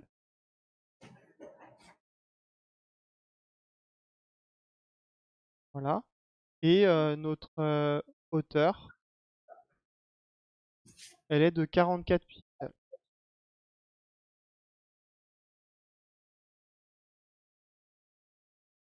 Bon après, euh, je sais pas si je vais sortir le radius en token, c'est possible. Le height, pour moi, c'est encore un peu tôt pour le sortir. Mais là, du coup, on voit déjà, tu vois que... Alors, tu vois ici, quand je clique, il y a une, ce qu'on appelle une Mhm. outline. Et ben, on peut la supprimer. En fait, il suffit juste de mettre... Alors, je sais plus si c'est none ou 0. Bon, attends un peu. IntelliJ le propose pas? Propose none. Voilà. Là, on a viré Ok. la outline. Donc, ça fait que s'il n'y a plus quand tu, il n'y a, vraiment pas d'outline euh, différente sur le composant login? Euh, pour le moment, non. Mais, euh, mais on pourrait imaginer qu'on met un focus pour changer euh, le style. faut, faut voir si c'est le cas, si c'est demandé aussi après. hein. Si c'est pas demandé. euh. Normalement, oui, ça serait mieux de le faire, mais je vais pas trop me... Conventionnellement, c'est quelque chose qui se fait. Ouais, bien sûr, et c'est bien, et d'ailleurs pour de la sémantique visuelle, c'est mieux. Euh, alors, quelle est la différence entre Storybook et TQI Storybook, c'est fait pour exposer une documentation, euh, principalement, alors que, que TQI, c'est fait pour fabriquer son style. Donc euh, l'un, c'est un outil pour fabriquer, et la, conséquence, c'est finalement la documentation, alors que l'autre, c'est vraiment le but, c'est de documenter. Donc on n'a pas exactement le même but. Voilà. Pour faire simple, c'est ça l'idée.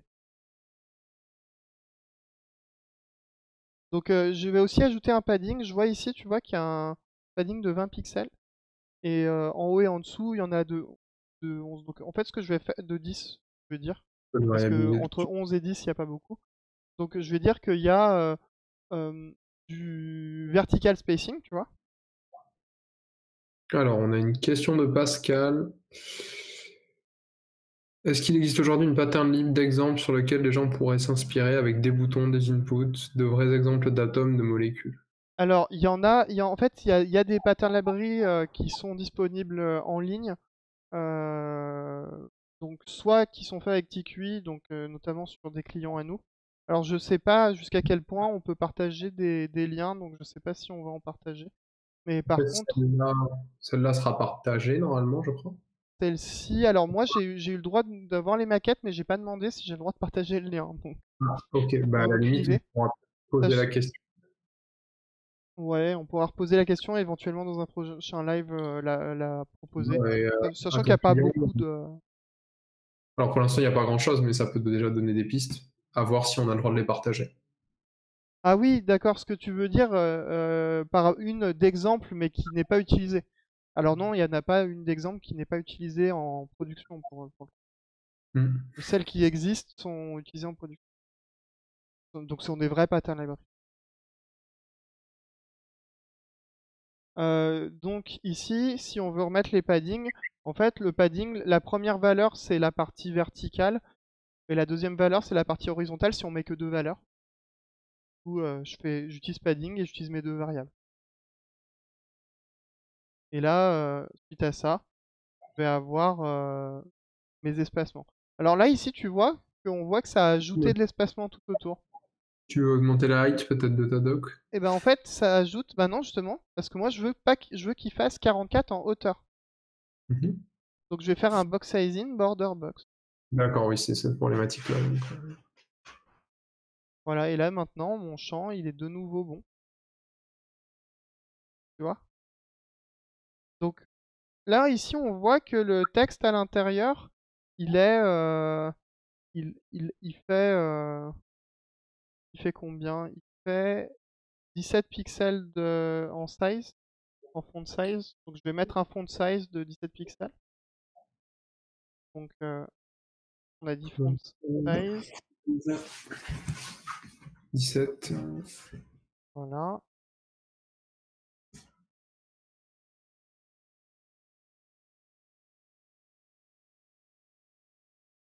Donc là il, est, il fait 17 pixels et on voit qu'il est euh, plutôt gras. Donc, euh, on- mais par contre il est dans une police différente, tu vois. Ok, c'est laquelle? La Titilium Web, donc on va aller la retrouver. En l'occurrence, c'est une Google Font. Alors, je vais aller la retrouver de mon côté. Hein. Hop, Ne t'inquiète pas.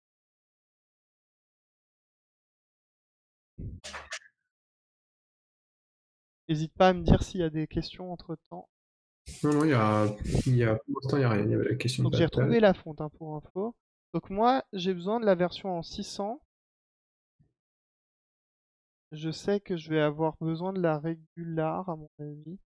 Et je, et j'ai- je sais que la light est, est nécessaire. Ça. Je crois pas que j'en ai besoin d'autres de toute façon. Alors, question, est-ce qu'on peut construire notre pattern library avec un framework utilitaire comme Tailwind plus TQI Alors, on peut utiliser Tailwind dans TQI, c'était ça la question. Mais par contre, euh, après, moi j'ai écrit un article sur le sur euh, utiliser euh, bah, des, choses comme Atomic Design avec un framework comme par exemple Bootstrap, qui est un autre, outil. Et moi, globalement, la plupart des outils, que ce soit Bootstrap, Tailwind ou autres, ne me, ne me font pas gagner spécialement plus de temps que ça pour la création d'une euh, identité graphique forte. Ils peuvent être utiles si par exemple on n'a pas une grosse volonté de, de- de- comment dire de l'identité graphique. Oui, bah, Parce ce qui qu'ils proposent déjà une identité graphique en fait. C'est- ouais, ce qui est décrit dans Atomic Design, dans la partie introductive, où justement il parle de Bootstrap et de Foundation qui permettent de gagner en rapidité au départ, mais quand on va avoir une vraie, euh, un vrai design euh, lié à la marque, en fait, euh, avoir un, une marque, enfin pour vraiment décrire la marque, avoir une spécificité, Bah si en fait, utiliser ce genre de choses. Ça, ça va plus sous ce, on va prendre, se prendre les pieds dans le tapis en fait. même si Tailwind est, est un fonctionnal, enfin est plutôt orienté fonctionnel, c'est-à-dire qu'on va faire de la composition, il Mhm. propose quand même, en, en réalité, euh, il propose quand même un, un style, mais c'est juste qu'il est beaucoup plus ouvert dans ses possibilités qu'un Bootstrap par exemple. Mais si, si, il a quand même, euh, il a quand même quelques contraintes. Et sinon, ça serait, tu ferais du CSS direct en fait. Mhm. La création d'une pattern library, ça a un coût, d'entrée, mais à terme, après, on a une meilleure vélocité sur, les, sur le, fait de créer une vraie image de marque euh, liée à notre design. Mais, mais si la réponse est est-ce que c'est plus intéressant de faire du Tailwind que du Bootstrap? Si tu veux avoir l'identité graphique forte, euh, potentiellement que Tailwind sera plus pratique que Bootstrap, oui, c'est sûr. Mais, euh. Mais moi, j'ai tendance à me dire si on fait vraiment une identité graphique forte, le CSS est un outil qui marche très bien hein, pour ça.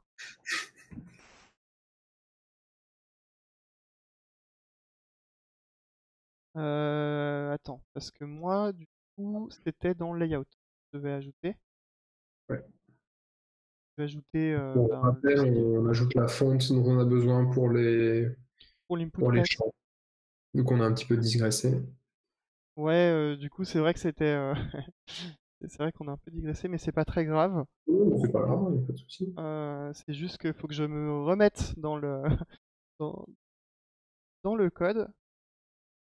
Donc là, c'est une font family qui est qui s'appelle euh, Web. Alors, je sais plus si euh, je sais plus comment ils l'ont appelé dans parce qu'il faut que je mette le même nom que ce qu'il y a sur la Google Font. Ouais, donc il y a un espace dans la Google Font alors qu'il n'y en a pas dans le dans, dans le Zeppelin, donc il faut que je fasse un peu attention à ça. Et c'est aussi une police sans serif, tu vois. Ok. Donc, euh, au final, cette, euh, cette euh, ouais, elle est ici. Et du coup, elle est à 600, c'est ça? Elle a une front weight de 600.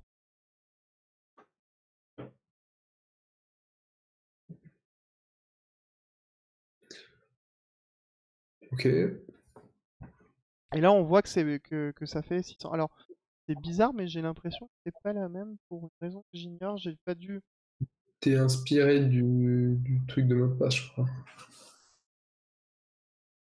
Ça a l'air un petit peu différent, ouais.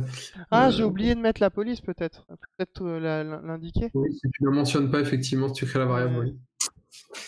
Ça, joue peut-être si je fais une variable mais que je n'utilise pas. Ça, serait mieux, ouais. Là, effectivement, c'est déjà un peu mieux. Alors, on n'a pas la même couleur encore.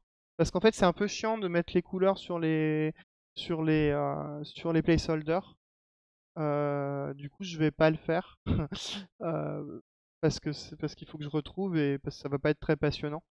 Puck permet-il la notion de macro comme twig ou, ou free marker? Alors, est-ce que c'est la notion de mixin qui correspond à ta notion de macro? Parce qu'effectivement, la notion de mixin et de macro sont proches au final. Je sais pas si c'est Effectivement, un mixin et une macro, c'est globalement le même principe.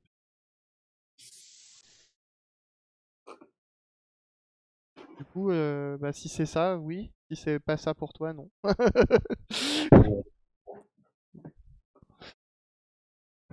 Alors. Tu peux passer des variables à tes mixins en entrée, comme, comme une fonction. Oui, on peut passer des variables au mixin. Ça répond, mais je pense pas que ce soit aussi puissant qu'une macro free marker. Euh, on peut même faire du code dans la mixin. C'est-à-dire on peut déclarer du JavaScript dans mmh. notre mix. Du coup, ouais, ça peut peut-être s'en rapprocher. Après, est-ce que c'est vraiment souhaitable? Bah, des fois, oui, pour par exemple euh, faire du travail sur les paramètres qu'on passe. Par exemple, mmh. faire des transformations, dire euh, je vais passer un paramètre, est-ce qu'il y a. Enfin, je veux que ça soit bold, par exemple. Et je vais dire si c'est bold, et eh ben, je, vais je vais avoir la classe bold. Par exemple. Ça, peut, ça peut être un, des cas comme ça. D'ailleurs, on va peut-être l'utiliser avec euh, l'input text. Comme ça, je vais avoir quelque chose avec une valeur et quelque chose avec un placeholder. Tu vois ce que je veux dire? Mmh. euh, Donc là, j'ai un nouveau token qu'il faut que je crée. Donc c'est un token euh, font, secondary, on va dire. Je sais que c'est utilisé comme police secondaire. Et notre compte, c'est ça.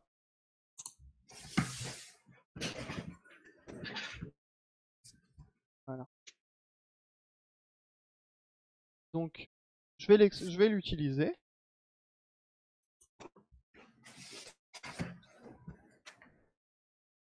et je vais la, et je vais me mettre dans, dans le token de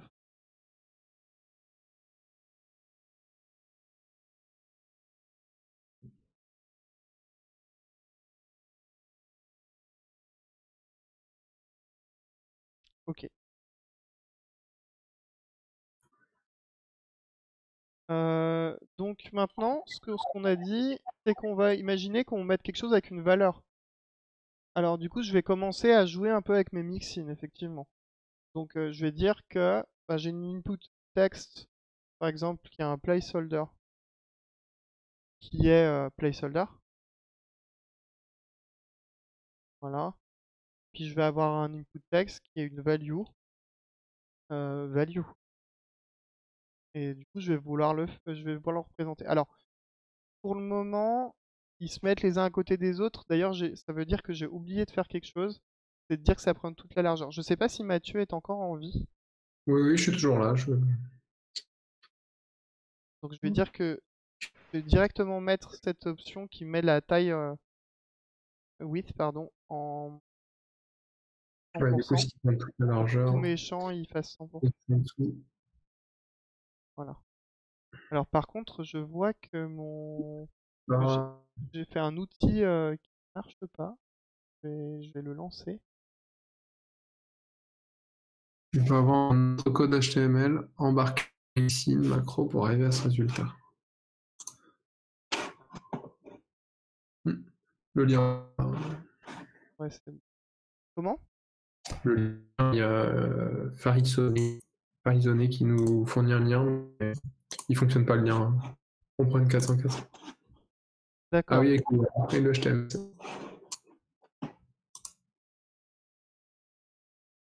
Ouais, bah typiquement ce genre de choses, tu peux complètement le faire avec un avec un mixin. euh, Bah justement, on va voir ensemble le mixin justement. Euh, ici, on a un placeholder. Moi, ce que je vais faire, c'est je vais avoir des options. J'aime bien le faire par option. Donc, dans mes options, je vais vouloir récupérer on a un placeholder et une value.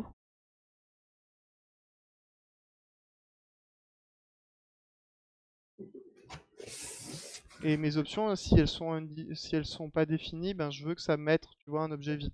Comme ça, au pire, ça sera un objet qui aura deux undefined. Euh, Désolé, ça peut te faire peur, Mathieu, parce que c'est du JavaScript. Ça va. Ah, c'est de l'ES6 quand même, ça va. Question, euh, bah, justement, liée à l'ES6.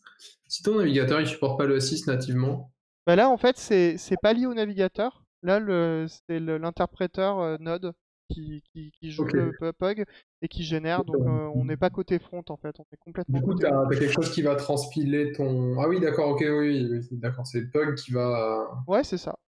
C'est Node, en l'occurrence, on démerde. aucune, problématique liée au JS qu'on écrit. euh, enfin, en tout cas, il ne sera pas interprété dans le navigateur. hein. Absolument. Et du coup, là, euh, là, du coup, tu vois que y a, c'est, maintenant, c'est sur deux lignes. Du coup, on voit pas. Mais euh, en gros, si je mets une taille un peu plus grande que 70, que je mets, je sais pas, euh, 150, j'en sais rien. Je, je fais, je fais un peu au doigt mouillé. 150, c'est un peu grand.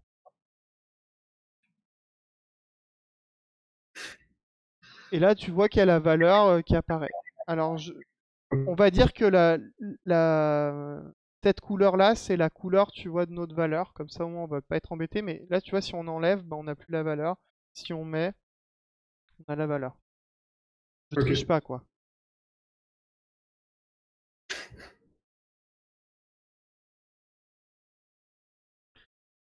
Tu peux pas les tu peux pas les espacer un petit peu verticalement, parce que là, c'est collé, c'est pas ouf. hein. Enfin, Alors je pourrais, euh, c'est un peu chiant à faire, euh, parce que du coup là c'est vraiment dans mon rendu. Mais, euh, mais oui je pourrais, ça veut... mais par contre si je le fais, ça risque d'apparaître tu vois dans la zone de code, ici. si je le mets côté code. Mais en gros je pourrais séparer ma notion de render et mon notion de, de code pour afficher dans ma portion de code un code qui correspond pas exactement au render, mais qui Mhm. gère mon espacement entre les deux éléments. J'aime pas trop le faire, mais... euh, Après, on peut faire, on peut dire qu'on fait un organisme, enfin, ouais, une molécule de d'affichage d'input les uns à la suite des autres. Aussi. Et, quand on sera aux molécules et compagnie, on aura, on, aura cette représentation de toute façon. C'est ça. Donc du coup, est-ce que c'est pas, c'est pas pertinent de le faire maintenant, effectivement? Voilà, c'est pas forcément pertinent. Et après, ça empêche pas. Après, on pourrait faire n euh, composants, tu vois, de render qui utilisent le même euh, CSS à la fin. Mmh. Et on pourrait faire ça aussi. Ok, est-ce qu'on est sur les inputs de texte? Euh, bah, En fait, faut que je finisse, faut que j'ajoute la color. Ok. La color, en fait, c'est... Euh...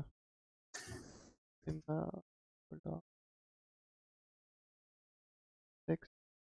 On m'a dit que c'est une color de texte final. Et ma color de texte, je vais la définir ici comme étant vais mettre noir pour le moment parce que je copie la valeur.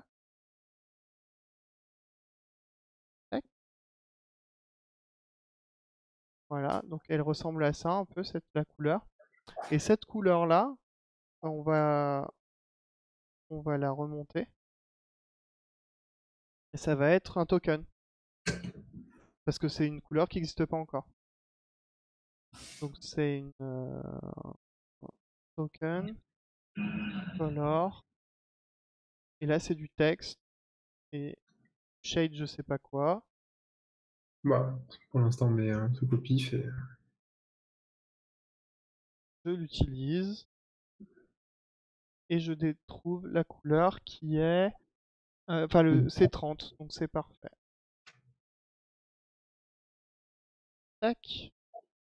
Et là maintenant, je peux retourner dans mes tokens de couleur pour ajouter mon 30 en texte qui va être en dessous du 50. Alors, est-ce que je mettrais pas plutôt comme ça pour mettre dans l'ordre? Un peu, mieux.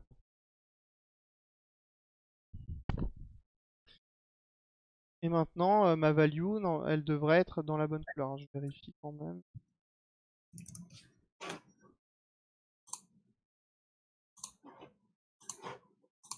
Ouais, elle est, de, elle est de la couleur, tu vois, 3, 3C, 4B. C'est vrai que c'est pas très visible parce qu'elle est vachement, elle est très proche du coup de, la couleur d'avant. Et... voilà. Donc euh, maintenant, on a, euh, on a nos, on a nos éléments et on a pu voir euh, bah, l'utilisation d'une mixin où là, on avait nos options avec un placeholder, une value et on peut imaginer plein de choses en fait dans ça. Mmh. Euh, du coup, est-ce que on fait le texte qui est ici? Attends, le... le, login message? Ouais, ok. Ok. On est parti. Donc, euh, tu peux revenir, il y a une question, est-ce que tu peux revenir sur la notion de token? J'étais pas là quand tu en as parlé. Ok. Alors, je crée juste login message en parallèle. Alors en fait, euh, le, un token, si je te remontre, ça va être tout ce qui est, euh, par exemple, couleur, fonte, euh, euh, padding, enfin tout ce qui est marge en fait, etc. Et c'est des choses qui sont pas directement représentées par exemple sous forme de composants. Nous, on va le représenter par des variables, mais il faut quand même pas dire que toute variable est un token, parce que le, token, le token au sens UI, ça a vraiment la notion de bah, qu'est-ce que c'est une couleur, qu'est-ce que c'est une, quelle police on va utiliser, etc. Donc j'espère que ça a donné un peu plus de, billes.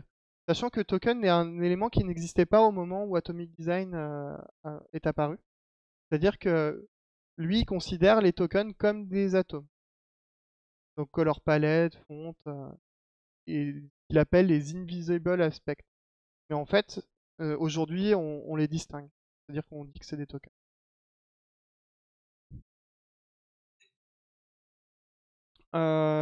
Donc, euh, donc voilà. Euh, l'élément donc le login message.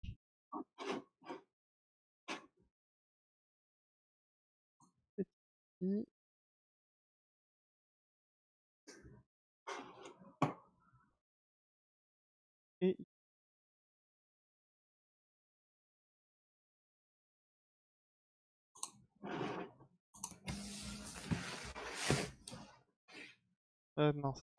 Encore comme d'hab. Je suis trop, fort.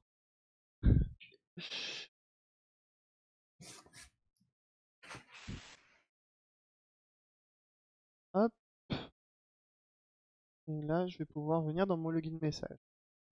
Donc le login message, je vais mettre login message comme ça. La fameuse figure de Colin. Euh,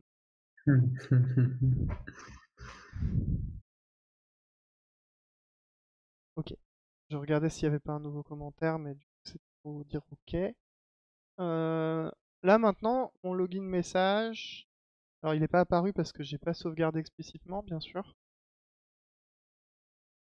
Parce qu'en fait, le. Comment dire IntelliJ, lui, il, fait une sauvegarde euh, pas forcément euh, qui est watchée par ton système. Je sais pas ce que je veux dire. C'est pas comme Eclipse où le... faut, faut faire CTRL S explicitement. Donc si tu fais CTRL S explicitement dans IntelliJ, là il va le détecter, mais si tu le fais pas explicitement, lui il enregistre pas euh, de la même manière. Hmm. C'est compliqué à expliquer mais euh, de pourquoi, mais voilà. J'ai aussi parlé de Quark tout à l'heure. Est-ce que tu peux nous dire euh, ce à quoi... Ben, en fait, je pense qu'on n'en parlera pas dans ce live-là, mais oui, un Quark, c'est un sous-élément d'un atome. C'est une notion qui n'existe absolument pas dans Atomic, dans Atomic Design c'est une notion que, que, bah, que, j'ai créée pour le coup, pour euh, justement mutualiser euh, des propriétés communes à plusieurs atomes, ou à molécules ou organismes. Il y a une autre question. Est-ce que TQZ n'utilise pas de builder comme Parcel ou Webpack? Non, on fabrique pas euh, avec TQI du, du JavaScript. on fabrique un, un, rendu, en fait, justement que du HTML et du CSS. Et du coup, euh, on utilise directement les, les outils euh, qui permettent de le générer. On n'a pas de, de, packaging pour l'inclure dans une app. Donc on n'utilise pas Webpack, euh, ni aucun bundler qui l'inclurait dans un JS par exemple. Parce que c'est pas l'objectif de...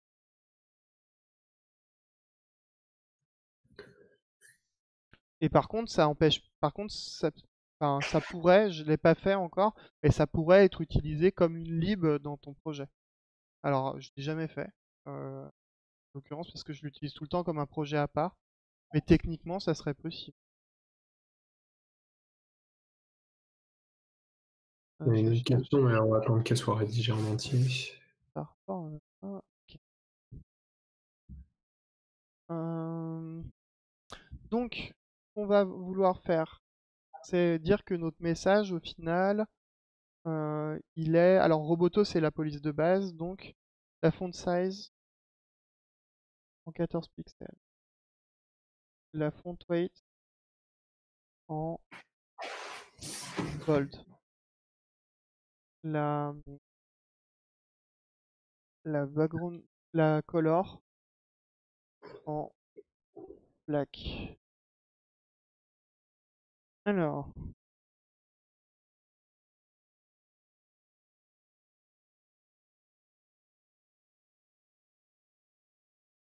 Ah, mettre un HTML nested. Si, si, tu peux faire avec bloc. Tu peux faire avec bloc. B-L-O-C-K. Tu peux faire.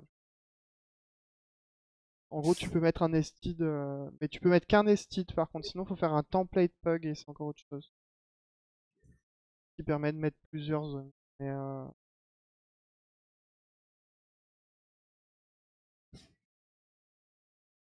euh, non, Pug est plutôt bien hein, comme, euh, comme langage de templating, il est assez complet. Moi, je le trouve assez pratique parce qu'il évite justement d'éviter des balises fermantes notamment et il impose à être rigoureux dans sa façon de concevoir et justement à pas faire des trop gros fichiers euh, PUG, justement si t'as trop d'imbrication, ou ça, si jamais tu vois ça, ça t'incite à, faire des plus petits. Sur du React ou du Vue, je trouve un buva, ben moi je le fais euh, sur du Vue, mais je sépare dans un fichier à part mes, mes mon Vue. Oui, dans du React, vu que tu es dans le JSX et que ton... ça peut être vite, euh, vite lisible. Hein. Mais oui, bah, dans du JSX, je pense que c'est horrible. Et dans... dans du Vue, pour le coup, en séparant dans un fichier à part et en, fait, mmh. en pouvant en ayant toujours la possibilité de composer avec les imports, etc. Enfin, les includes, pardon. C'est super pratique. C'est super pratique. Je pense que ça se prête bien aussi à de Angular vu que tu as par défaut ton HTML qui est séparé. Angular, c'est possible, ça marche. Alors après, il faut voir jusqu'à quel point, tu vois, il supporte include ou des, features un peu comme ça pour la mmh. résolution de chemin. Et je sais que VueCLI, par exemple, euh, fait une conf webpack qui fait que ça marche super bien. Mais euh, est-ce que tous les outils euh, fonctionnent comme ça? Je sais pas. Je crois qu'effectivement, Angular, ça marche plutôt bien.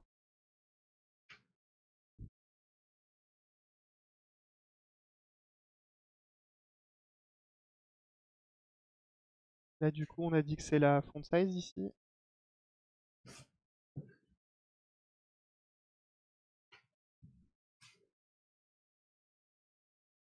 Voilà. Et là, du coup, on peut remonter ça. Donc ça, c'est encore un token. Euh, c'est un token de couleur euh, shade 0. Absence de mhm. couleur. Oui, le noir est une absence de couleur.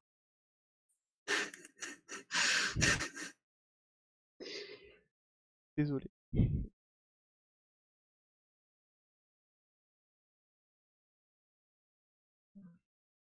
Tac. Donc euh, maintenant je vais dans, dans mes couleurs et le shade 0. Alors j'ai mis fil et en fait c'est pas un fil. C'est pas grave. Je sais que je l'ai utilisé comme un texte. Et IntelliJ, tu vois, il me, il me permet de le faire. Alors je sais pas s'il l'a J'espère qu'il l'a pris bien en compte. On va vérifier quand même. Oui, tu vois, il l'a pris en compte visiblement. Mon login message, il est bien bon. Il est en 14 pixels. Je pense que oui. Euh, Roboto, clac clac, je regarde un peu. Light on s'en Le oui, c'est Light. Donc on devrait être bon. Je vais mettre euh, je vais changer la hauteur euh, parce que c'est un peu trop grand. On va dire que je sais pas si 20 ça sera. c'est trop petit 20, je pense qu'il faudra Ouais, ouais, 34. Ouais, parce que tu vois, il y a les bordures autour. Alors déjà, même 30, c'est pas assez grand. Avec... Parce qu'en fait, de base, le body HTML classique, il ajoute des bordures euh, internes. Et c'est pour ça qu'on voit euh, que ça démarre pas directement euh, tout au bord. Donc c'est un effet de bord assez profitable que d'avoir ça. Ok, on est donc on est pas mal. Là, il est 20h42. Est-ce que on fait on discute un peu avec le chat s'il a des remarques? Parce que je sais, ça va être un peu gros la suite. C'est pour ça que ça va peut-être pas. la molécule, ou enfin, il passe déjà le, le sous en dessous du. Comment?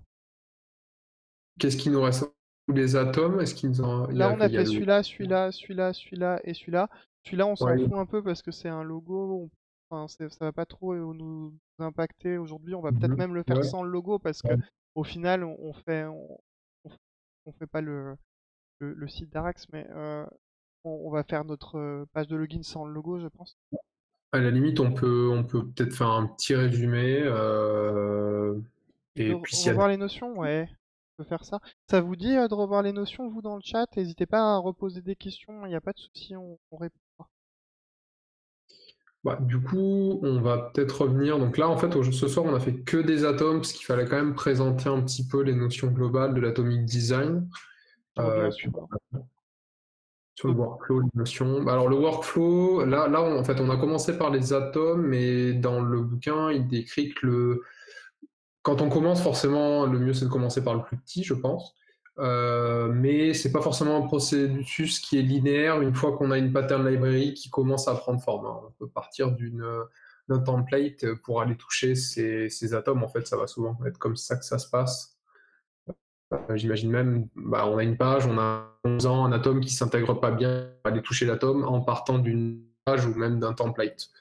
Euh, donc voilà, donc en termes de workflow, je sais pas si ça répond un petit peu à la question. On n'est pas forcément obligé de partir du bas pour aller vers le haut, mais quand on commence la librairie, c'est comme ça que ça se passe. On ne voit plus bouger. On t'entend difficilement aussi. Hein. Désolé. Non, il n'y a pas de euh, mal. Mais, euh, Après, pas, euh, je sais pas si tu as des choses à rajouter. Ouais, je, j'attendais, j'attends la fin. en fait, généralement, moi, ce que je remarque, c'est que les personnes qui designent, on va partager le code. Oui, on va partager le code. Alors, pas tout de suite, je pense, mais on va le mettre sur un repo et on va le linker au repo du live coding.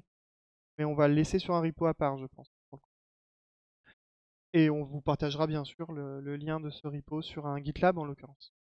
Et en fait, l'idée c'est que souvent on, va avoir des, bah, des designers qui interviennent souvent en amont parce qu'ils vont faire les maquettes. Alors ça peut être vraiment cool de travailler avec eux à côte à côte. Moi j'ai eu l'occasion de faire ça, c'est très sympa. Mais on n'a pas souvent cette occasion-là. Mmh. Euh, et généralement, le réflexe de quelqu'un qui fait un design, il a besoin d'une vision d'ensemble lui, généralement, il va pas partir du plus il va partir du plus gros. Et euh, il va faire tous ces éléments. Et c'est ensuite qu'il va pouvoir faire de la cohérence. Donc essayer de retrouver de la cohérence en voyant s'il n'y a pas deux éléments, c'est la même chose ou pas. Et nous, en tant que dev, ce qui est vraiment cool, c'est que... Enfin, ce qui est vraiment cool, ce qui est vraiment différent, on va dire, c'est que nous, on, va plutôt assembler des, des petites parties. C'est plus naturel pour nous, parce que sinon, ça fait beaucoup trop de complexité à réaliser d'un coup. Là ici, ce mmh. soir, on a vu qu'on a fait que des petits trucs au final. On a fait un bouton, un placeholder, enfin, pardon, un input text, un, un atome de login message, un, atome de texte info, etc. Donc on voit que, que, que, partir du plus petit, ça nous aide à avoir rapidement quelque chose. Et grâce à ça, on va pouvoir faire une composition, etc. Et finalement, la, méthode, elle permet à la fois à quelqu'un qui fait design de, de, pouvoir faire quelque chose qui va pouvoir être très très découpable et du coup plus facilement intégral au, fil de l'eau par les développeurs que, euh, que de faire toute une page qui ne soit pas cohérente par exemple. Question de Pascal sur ce que tu es en train de dire un petit peu, qui demande si sur le projet, c'est quel profil qui s'occupe de la pattern library. Est-ce que c'est le designer, le dev front, un peu les deux? Par rapport à ce que tu viens de dire, j'aurais tendance, c'est le dev front qui va coder la pattern library, si possible, le plus possible, travailler euh, avec les designers. Alors moi, ce que j'aime bien faire, c'est effectivement, on va, on va coder euh, la pattern library, ça c'est sûr. C'est vraiment le développeur qui, code dans la pattern library. Enfin, quelqu'un au moins qui peut intégrer, euh, voilà. donc, si ça parlait de, par exemple, du rôle de qu'est-ce que c'est un dev front, par exemple, le dev front aujourd'hui, euh, c'est un ensemble de métiers en fait. C'est soit euh, tu vas avoir des gens qui vont faire du dev plutôt mécanique, que j'appelle mécanique avec Vue, Angular ou des choses comme ça. On va appeler des dev front. Et, euh, mais au final, quelqu'un qui fait du CSS, c'est aussi un dev front. Mais on appelle ça plutôt aujourd'hui un intégrateur. Alors, moi, j'aime pas trop le terme intégrateur parce que déjà, il évoque un métier très très lié aussi au, à, ce qui est plutôt du DevOps au final. Euh, et en même temps, il, est, il est un peu mal connoté aujourd'hui, malheureusement, en termes de, de vision. C'est-à-dire qu'on a l'impression que ben, le métier d'un développeur aujourd'hui, c'est il fait, il commence par HTML, CSS, et puis après, euh, il fait des vrais langages, quoi. Euh, c'est ça qu'on qu'il y a dans la tête des gens. Donc, je, je fais exprès hein, de, dire, de, de, dire ça. Moi, je suis pas d'accord avec ça, justement. Et je pense que ben, c'est pas simple d'organiser son style. C'est pas quelque chose qui, qui, doit se faire, comment dire, en improvisant. Et effectivement, ben, quand tu as besoin d'être, quand tu qualifies de qu'est-ce que c'est un dev front, ben, au final, moi j'estime être un dev front, mais moi ma valeur elle est plus portée sur le style, même si je sais très très bien faire, faire tout ce qui est mécanique. Mais je connais des gens qui sont très mauvais, par exemple, en intégration.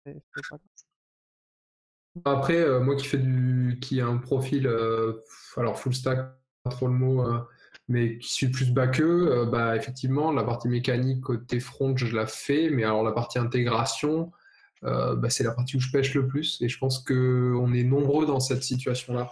Bah, surtout que d'autant plus que souvent, bah, les gens qui font du back entre guillemets, parce que c'est pareil, hein, c'est hyper vaste le bac et on, on Oui, ça aurait tort de dire. Mais dans le milieu du web, souvent, euh, on va avoir euh, une logique métier et on Mhm. va exposer une API REST la plupart du temps ou euh, GraphQL ou autre et euh, on va persister potentiellement des choses aussi. Et le métier de du dev euh, back, il va être beaucoup sur le traitement de l'information, sur représenter au mieux le métier et les règles Mhm. métiers. Donc ça, moi, je trouve que c'est hyper intéressant, mais ça ressemble beaucoup au final à, à ce qu'on va pouvoir retrouver aussi côté front, parce que côté front, on peut imaginer que bah, notre persistance, elle est gérée par la partie back en fait. Donc euh, notre Mhm. contrat, c'est du reste, et notre exposition, donc euh, ce qui va s'afficher dans notre page, bah, c'est euh, ça, ça peut équival- enfin, ça peut être équivalent à, au reste du back, tu vois, mais côté front. Et du coup, chez nous, ça sera par exemple du Vue, etc. Et ce qu'il y a au milieu, ça va être de la logique applicative qui va représenter le métier. On a une autre, euh, on a une autre question Ouais. euh, ça ressemble est, beaucoup en fait. Qui est l'arbitrage qui consiste à dire qu'un élément est une molécule ou un organisme. C'est fait dès l'étape de conception graphique slash design ou c'est le front ou l'intégrateur qui fait cet arbitrage? Pour moi, le mieux, c'est de. Alors, déjà, c'est de, de comprendre ce que fait Atomic Design. Donc, effectivement, euh, il y a une notion de molécule, d'organisme, etc.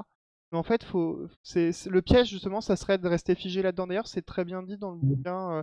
Euh, il, compare avec la notion de Pouperus. En fait, l'idée qu'il y a derrière, c'est surtout l'imbrication, plus que euh, de mettre dans une zone ou une autre.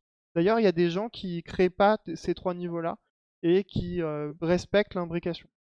Il y a des gens même qui créent plus de niveaux, il y a des gens qui créent moins de niveaux. Enfin, il n'y a pas de, il n'y a pas une règle absolue. L'idée, justement, je pense, c'est d'être capable de savoir où tu vas ranger hiérarchiquement ton compo, plus que euh, respecter absolument ça, ça va dans les molécules, ça, ça va dans les, les, Ouais. euh, les, les Et organismes. C'est ce qui, oui, dans le bouquin, il parle de définir, euh, j'en parlais un petit peu plus tôt, euh, l'important c'est de définir une parle de taxonomie avec des nommages qui sont correspondants euh, à business en fait, à ce qui colle pour l'équipe qui travaille sur cette librairie et pour les équipes autour en fait. Parce que c'est plus un guide de style qu'autre chose. Donc c'est ça le plus important, de dire que c'est une molécule, la nomenclature n'est pas le- la partie la plus pertinente.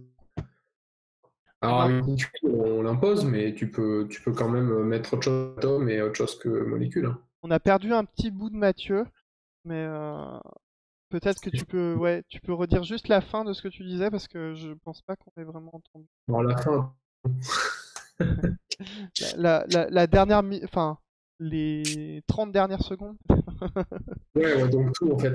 Ah, ok, euh, du coup je disais, ouais, je parlais que c'est plus un guide de style. euh, donc euh, dans, dans TQI, alors nous on a fait des atomes et des molécules parce qu'on a suivi purement, mais euh, l'important c'est que ce soit les équipes soient d'accord.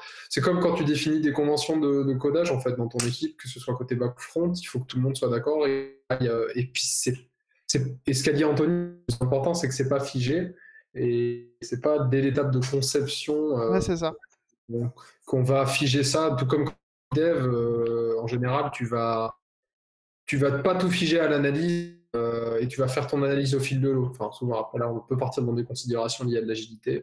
Bah, moi, je, suis- moi, je assez partisan, par exemple, de tout ce qui est bah, émergent. C'est-à-dire, tu fais émerger ton design. Ben, je pense que c'est pareil pour le style. Tu, c'est pas parce que euh, un designer a pensé quelque chose en amont et qu'il a fait une maquette, etc., que c'est pas challengeable. Tu peux rechallenger ça aussi. Et c'est valable à la fois ben, sur ce qui est fait, donc euh, les, éléments graphiques, mais aussi sur euh, bah, comment tu les organises. Et du coup, parfois, tu vas trouver des notions qui vont être assez parlantes en mettant un mot dessus et ça va avoir beaucoup d'importance sur le, la définition du style. Donc euh, moi, euh, ouais, la- les interactions avec euh, justement quelqu'un qui fabrique les maquettes, c'est important. Et si on arrive à faire un, un climat où on se challenge chacun, c'est cool. Ça marche bien en général. Ok. Voilà, est-ce qu'on a bien répondu à vos questions du coup Alors, nous rappeler le titre du live, c'était Atomic Design. livre. du livre, c'est Atomic Design et l'auteur c'est Brad Frost. À la limite, je vais, je vais mettre dans, le- dans les commentaires. Ouais, mais le... Il est dispo en ligne, moi j'ai la version ebook. pas à mettre le lien. Alors là, on voit le à l'envers parce que c'est sur mon post qui stream. Euh, mais, euh, Ouais, mais on voit le bouquin, quoi. Voilà, je, je vous mets le lien. Euh, alors, le livre est un petit peu. Ce qui est cool, c'est que sur cette partie, on n'a pas besoin de test. Alors, je pense que c'est un troll de Pascal. Ouais, je pense aussi que c'est un troll de Pascal, d'autant plus qu'au final, ben, euh, le fait d'avoir représenté notre contrat HTML avant de faire notre style et le fait d'avoir un feedback rapide, ben, c'est un peu la même idée au final que ce qu'on ferait dans des méthodos comme du TDD, où on va d'abord spécifier notre contrat au final et ensuite, donc, euh, et ensuite fabriquer, implémenter notre design pour, graphique pour qu'il corresponde, euh, enfin, pour qu'il corresponde à ce qu'on veut exprimer. Donc en fait, la méthode elle est proche, c'est juste qu'elle va être beaucoup moins automatisable, oui, ça c'est vrai. Ouais. Alors après, euh, quand tu fais des atomes, effectivement, tu as une boucle de feedback rapide. Tu vas quand même avoir une boucle de feedback plus longue quand il s'agit d'intégrer tes atomes, tes molécules, tes organismes dans tes pages avec du vrai contenu. C'est ce que je disais au début. C'est pour ça que, c'est bien de les faire dans une pattern library au final. Voilà, oui, oui, mais du coup, la modification, quand tu vas l'intégrer dans une, dans une page, tu vas peut-être te rendre compte qu'il y a des défauts. Donc la boucle de feedback est plus longue, mais derrière, le fait d'avoir des petits atomes, des petites molécules, ça permet vraiment d'aller plus vite dans les corrections. Bon, après, il faut savoir qu'il y a aussi des interfaces qui sont testées au pixel près. Hein, euh. Alors, on le fait... Alors ça, c'est pas forcément une super bonne idée. Mais... Effectivement, mais, euh, mais t'as certaines circonstances, je crois que la... Alors, je dis peut-être une bêtise, mais l'interface le, de la capsule Dragon de la NASA est faite en JS et enfin c'est du, du front et ils ont tout testé au pixel près je crois. Mais bon ils font de l'aérospatial c'est pas les mêmes que nous c'est pas voilà et un dernier truc c'est qu'on n'a pas dit c'est qu'Atomic Design ne s'applique pas forcément qu'à des interfaces web. On est très orienté web mais ça se veut pour des interfaces utilisateurs d'une façon générale oui. d'ailleurs. C'est important de le relever. Oui, parce que là, là effectivement, euh, bah, notamment l'outil ZQI, il s'applique au web et pas autre chose que le web. Mais c'est déjà, avec ZQI, on n'est pas obligé de faire de l'atomic design. C'est vraiment pas obligatoire. Mais euh, l'atomic design lui-même, ouais, peut s'appliquer à, tout, en fait, du mobile, peut-être même de l'imprimerie, pourquoi pas. Enfin, c'est pas, interdit de penser ça, quoi. Du Mais c'est vrai que c'est plutôt adapté à de l'interface. Donc ça va être plutôt ben, effectivement très très utile dans le web, notamment Brad Frost c'est plutôt un développeur web. Hmm. Et euh, j'imagine que pour le mobile ça doit être très très pratique aussi. Voilà, est-ce qu'il y a d'autres questions? D'autres trolls comme celui de Pascal? Enfin, c'était pas totalement faux, c'est difficilement automatisable. Alors, par contre, il y a des choses qui peuvent permettre de, vérifier, notamment s'il n'y a pas eu de changement avec des images. Moi, j'aime pas trop faire des comparaisons comme ça, euh, ce qu'ils appellent sorte mmh. de test de, non-régression avec du checking d'images, parce qu'au final, moi, je suis plus partisan d'une euh, charte graphique qui évolue, tu vois, et du coup, euh, ça, devient extrêmement coûteux avec le temps tu vas, ouais, tu vas avoir une grosse inertie en fait. Euh, alors après c'est automatique, mais tu as quand même une certaine inertie. C'est des tests qui peuvent prendre du temps à exécuter en plus. Alors TQI, oui, c'est un logiciel libre que vous pouvez trouver sur le site de, bah, sur GitHub en l'occurrence. Il est sous licence MIT, donc il appartient pas à une société. En fait, il, il est, tout le monde peut contribuer dessus. Euh, donc il n'y a pas de voilà il est oui oui il est libre il a pas il appartient pas à Ipon mais il appartient pas non plus à, à, moi. Il, il, appartient à tout le monde en quelque sorte. Et à personne en même temps. C'est beau. Bah, je crois qu'on est on est bon. Je pense. Du coup on va peut-être faire un, un, un return on time invested comme, euh, comme on dit bah, après, ouais, ouais, oui, effectivement. Et puis ensuite, euh, peut-être euh, dire ce qu'on qu'on pensait faire sur les lives suivants, s'il y en a d'autres, et si c'est selon le, selon le, rôti. Quoi. Ouais, bah, je pense. Alors, l'idée, c'est qu'on va faire un rôti. On vote de 1, c'est vraiment que cette soirée vous a servi à rien. 5, euh, c'était vous avez appris énormément de choses et c'était la meilleure soirée de votre vie. Et au milieu, c'est plus temporisé. Et du coup, euh, je vous laisse voter euh, dans 3 secondes. 2, 1, go.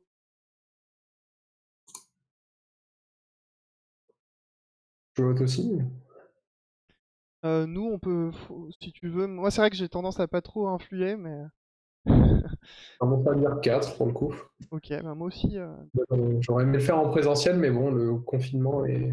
Nous, ça nous aide à avoir du feedback aussi, d'avoir J'aurais aimé faire sur le sujet parce que je suis pas un, bah, j'ai pas, j'ai une petite expérience de l'utilisation de TQI, mais même du front, il y a plein de notions que je connais pas, donc euh, Les virgules sont pas autorisées, Jérémy, mais je sais que, tu nous aimes beaucoup. ça.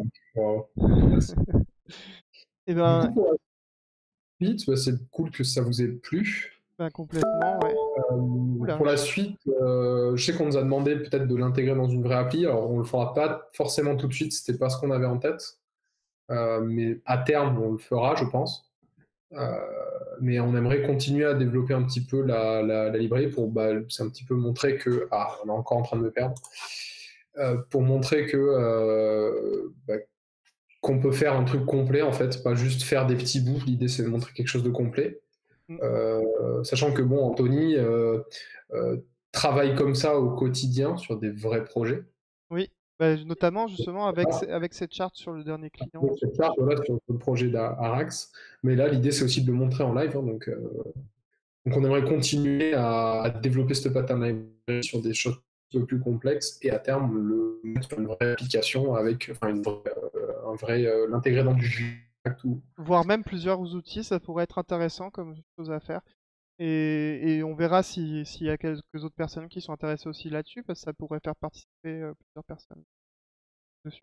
Et euh, pour le coup, euh, pour parler des prochains événements, alors c'est vrai que je déborde un peu parce qu'il est déjà 21h, mais euh, pour les prochains événements, la semaine prochaine, pour le moment, on n'a pas encore des choses de prévues, mais ça ça- je pense que ça arrivera. Et hum, il y a un live le lundi 16 euh, sur un kata qui s'appelle que que- qu'on a appelé euh, H2G2 pour le coup et euh, qui sera avec euh, Léa et moi-même. Euh, donc on vous invite à venir sur cette date. Et ben, merci en tout cas. euh, Merci à tous pour votre attention et puis euh, à une prochaine fois probablement. et puis ben bonne soirée. Au Bonne revoir. soirée. Salut.